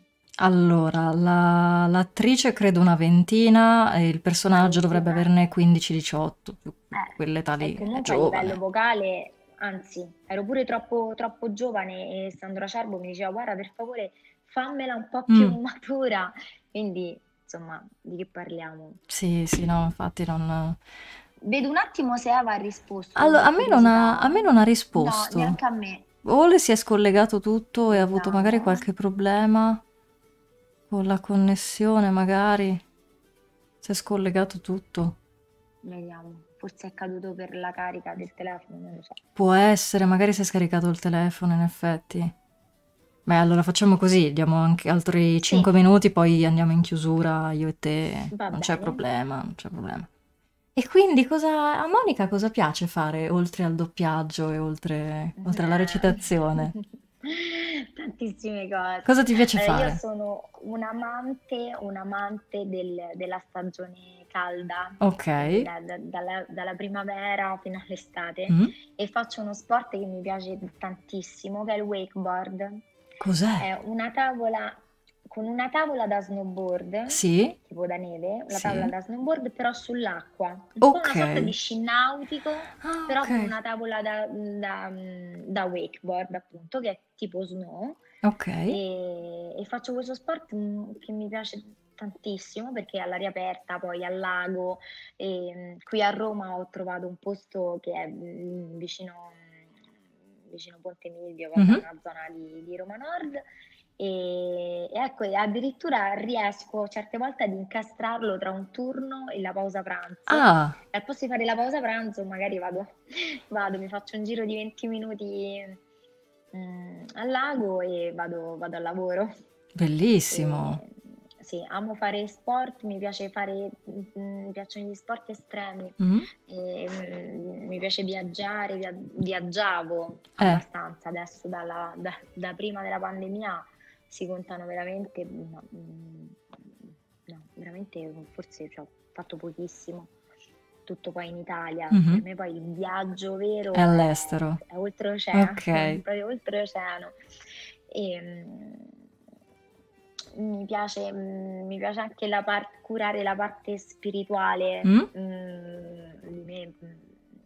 Oddio, scarico anche io, ah no, le cuffiette Ah, Ok. e, e mi affascina tanto la psicologia. Quindi forse se non avessi intrapreso poi la strada ecco, della recitazione, il doppiaggio, eh, forse avrei lasciato il DAMS per fare psicologia. Ok, beh, è interessante comunque. Mm, Possiamo dire che forse la psicologia eh, ha del- dei punti di contatto con la recitazione, cioè l'em- la questione dell'empatia. Sì, penso proprio di sì, Mm, perché comunque entrare anche in contatto, al di là che col personaggio, mm, ovviamente entri in contatto prima con te stesso, certo, devi anche un po' conoscerti, cioè devi anche sapere come far, ehm, come toccare delle corde, come mm, ricollegare magari ecco, un'emozione a, un a un qualcosa di tuo che hai, a prescindere da, da quello che vedi o da quello che, che- che- che, che devi fare, no? Quindi sì, secondo me sì, è tutto correlato, è tutto correlato. Ehm, E, anzi, viceversa, più cose vedi, più cose interpreti, più associ a mm, qualcosa di qualcun altro a te stesso. Quindi è proprio uno scambio, un gioco mm, di connessione Mm, proprio con, con gli altri nella vita di tutti i giorni e poi con, con i personaggi che interpreti anche poi per lavoro o per passione, perché magari ci sono stati anche periodi in cui con degli amici, sempre attori, e, mm, abbiamo fatto dei, dei video, comunque abbiamo recitato anche tra di noi. Comunque è una passione poi, è bello quando la passione diventa lavoro. È brutta, la- la- eh, passami la- la- la cosa, quando comunque non sempre pensi che ti venga riconosciuto, nel senso capitano anche mesi, mesi in cui uno lavora bene mhm. e mesi in cui magari ti si fermano le serie, il film mh, è concluso, eh, c'è un- ci sono anche dei periodi di fermo e devi, devi saper stare anche con, con questi periodi di fermo perché mh, comunque poi, nel senso magari vai anche un po' in ansia e dici ma come Certo, mai? Non vengo considerata? Perché non vengo chiamata? Perché non sono stata scelta per... Ecco, Gior, torniamo alla competizione precedente, non è certo. perché ah, è stata scelta lei, è perché però non sono stata scelta io. Ehm, quindi bisogna anche sapere, ecco perché anche la psicologia, bisogna saper gestire tante situazioni in un lavoro artistico e soprattutto un lavoro che per quanto dipende, poss- eccola, Eva, che è successo? Eccola. Eh, mi è morto il telefono. E- era scarico? Si è scaricato, però è in carica, ma si vede che siamo troppo chiacchierone e non ho aperto la visione. Giuro che vi faccio l'ultima domanda e poi vi lascio libere che... No, ma mi è dispiaciuto un sacco perché dico, ma è attaccato. Eh, capita, capita, eh, succede comunque, succede che magari i telefoni si emozionino e, e finisca così. Stavo chiedendo a Monica cosa le piace fare a parte la questione del doppiaggio, quindi volevo chiedervi qualcosa proprio di, di vostro, cosa vi piace fuori, fare fuori da, da questo ambiente, insomma. E quindi mi stava raccontando dei viaggi pre-pandemia, dello sport che fa in pausa pranzo, e, e insomma... Tocca- adesso tocca a Eva. Adesso tocca a te. Eh, sui viaggi mi trovate d'accordissimo. Sempre viaggiato, ultimamente con i bimbi piccoli abbiamo un po' rallentato, diciamo, il ritmo, ma eh, quella è una grande passione. Poi ci piace andare nei ristoranti, ci cerchiamo un po' gli stellati, diciamo, no? Quella è un'altra passione grande che abbiamo. E, mm, io e il mio compagno, ovviamente, Gabriele Patriarca, non so Mhm. se conosci. E, mm, e poi ci piacciono i videogiochi. Oh, cosa vi piace giocare? videogiochi da quando sono piccola. Varie cose, eh, ultimamente pure lì abbiamo un sacco di titoli da iniziare che stanno fermi perché non abbiamo mai tempo, ma ultimamente gioco un po' a Fortnite perché Ok, entro partitina e se il bambino piange, eh, vabbè, lasci la partita, però insomma non sei immersa in una campagna, no? ci sta, ci sta. E- Però tutto, eh, survival horror, Bello, sì, sì, sì, adoro. Bello. Oh, Ho bello però. comprato, guarda, la settimana scorsa Resident Evil 2, Ah, quello re- restaurato per la... Però chissà quando avrò il tempo di giocarci. chissà, chissà. No, Però già comprarlo è stato... Ce l'ho, ce l'ho. Poi quando lo giocherò chissà, però intanto ce l'ho. Esatto. Monica stava raccontando anche del fatto che avrebbe voluto magari iscriversi a, a psicologia, chi lo sa. Eh, nel, nel tuo caso invece? Ma Monica è già psicologa. io sono psicologa. Ah beh, allora, Psicologa, astrologa e Che Monica... Esatto. Diciamolo, chiariamolo. Sì, anch'io comunque, psicologia o anche filosofia, mm, mi sarebbe piaciuto. Sì, comunque come vedi, lettere tutta la vita, perché eh, roba matematica proprio non... ma infatti, no. ma infatti pure io mi sono pentita, infatti in università poi cosa ho fatto? Eh, ho fatto lettere e, e avevo gli esami di psicologia, infatti, perché è decisamente molto meglio dello scientifico, ma questa è un'altra storia, purtroppo. Dicono Resident Evil buon gustaia dalla chat. Ecco. Eh, Ragazze, io non posso fare altro che ringraziarvi davvero di essere state con me questa sera e spero che vi siate trovate bene, insomma. E molto. spero di aver fatto, ecco, di, di- di aver... Dica. Grazie a te e scusate per questo Ah, inconveniente ci che ho lasciato da mancherebbe. sole Non ti 10 scusiamo. minuti, buoni, perché poi sti iPhone li attacchi ma non ripartono, che ne so. eh. Quindi, Grazie. No, grazie, grazie a voi davvero, io ero super emozionata perché, insomma, Eh, Che hai invitato le due Alicent. sono stata molto brava perché, insomma, Veramente. Dai, un pochino, un pochino ti abbiamo convinto, dai. Ma sì, sì, sì, sì, nel senso, io assolutamente eh, sono convinta della, della bontà del personaggio su, su certe cose, su altre magari un pochino meno, però insomma, La famo. Non- eh, eh, beh, è un po' difficile. Diciamo che è un po' difficile, però, però sì, dai, cioè, ne- nel senso, scardiniamo il patriarcato, il maschilismo, ma dall'altra parte apprezzo comunque il personaggio di Alicent e come è stato reso, quindi assolutamente è stata una bellissima chiacchierata e grazie di essere state qua. Infatti dicono dalla chat grazie mille alle due regine verdi. Ah, che bello. Grazie. Grazie Peccato- mille. Grazie a voi. Peccato, peccato, perché magari uno nel, nel frattempo li leggeva in diretta, ora al di là che tu l'hai fatto, però... Eh, sì, Eh sì, questa cosa noi non li leggiamo.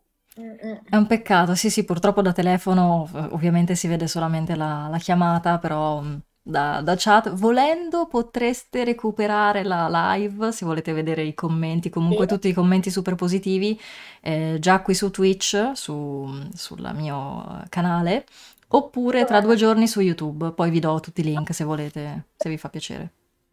Sì, sì, volentieri. Eh, certo. Quindi grazie mille di essere state qua siete, siete state meravigliose. Io spero appunto che vi siate trovate bene. Mi dispiace avervi trattenuto magari più dell'orario, insomma. Adesso giuro che vi lascio libere. Grazie davvero Grazie a te, Laura. e buonanotte a Grazie. tutti anche in chat. Buonanotte. Ciao, a buonanotte. presto!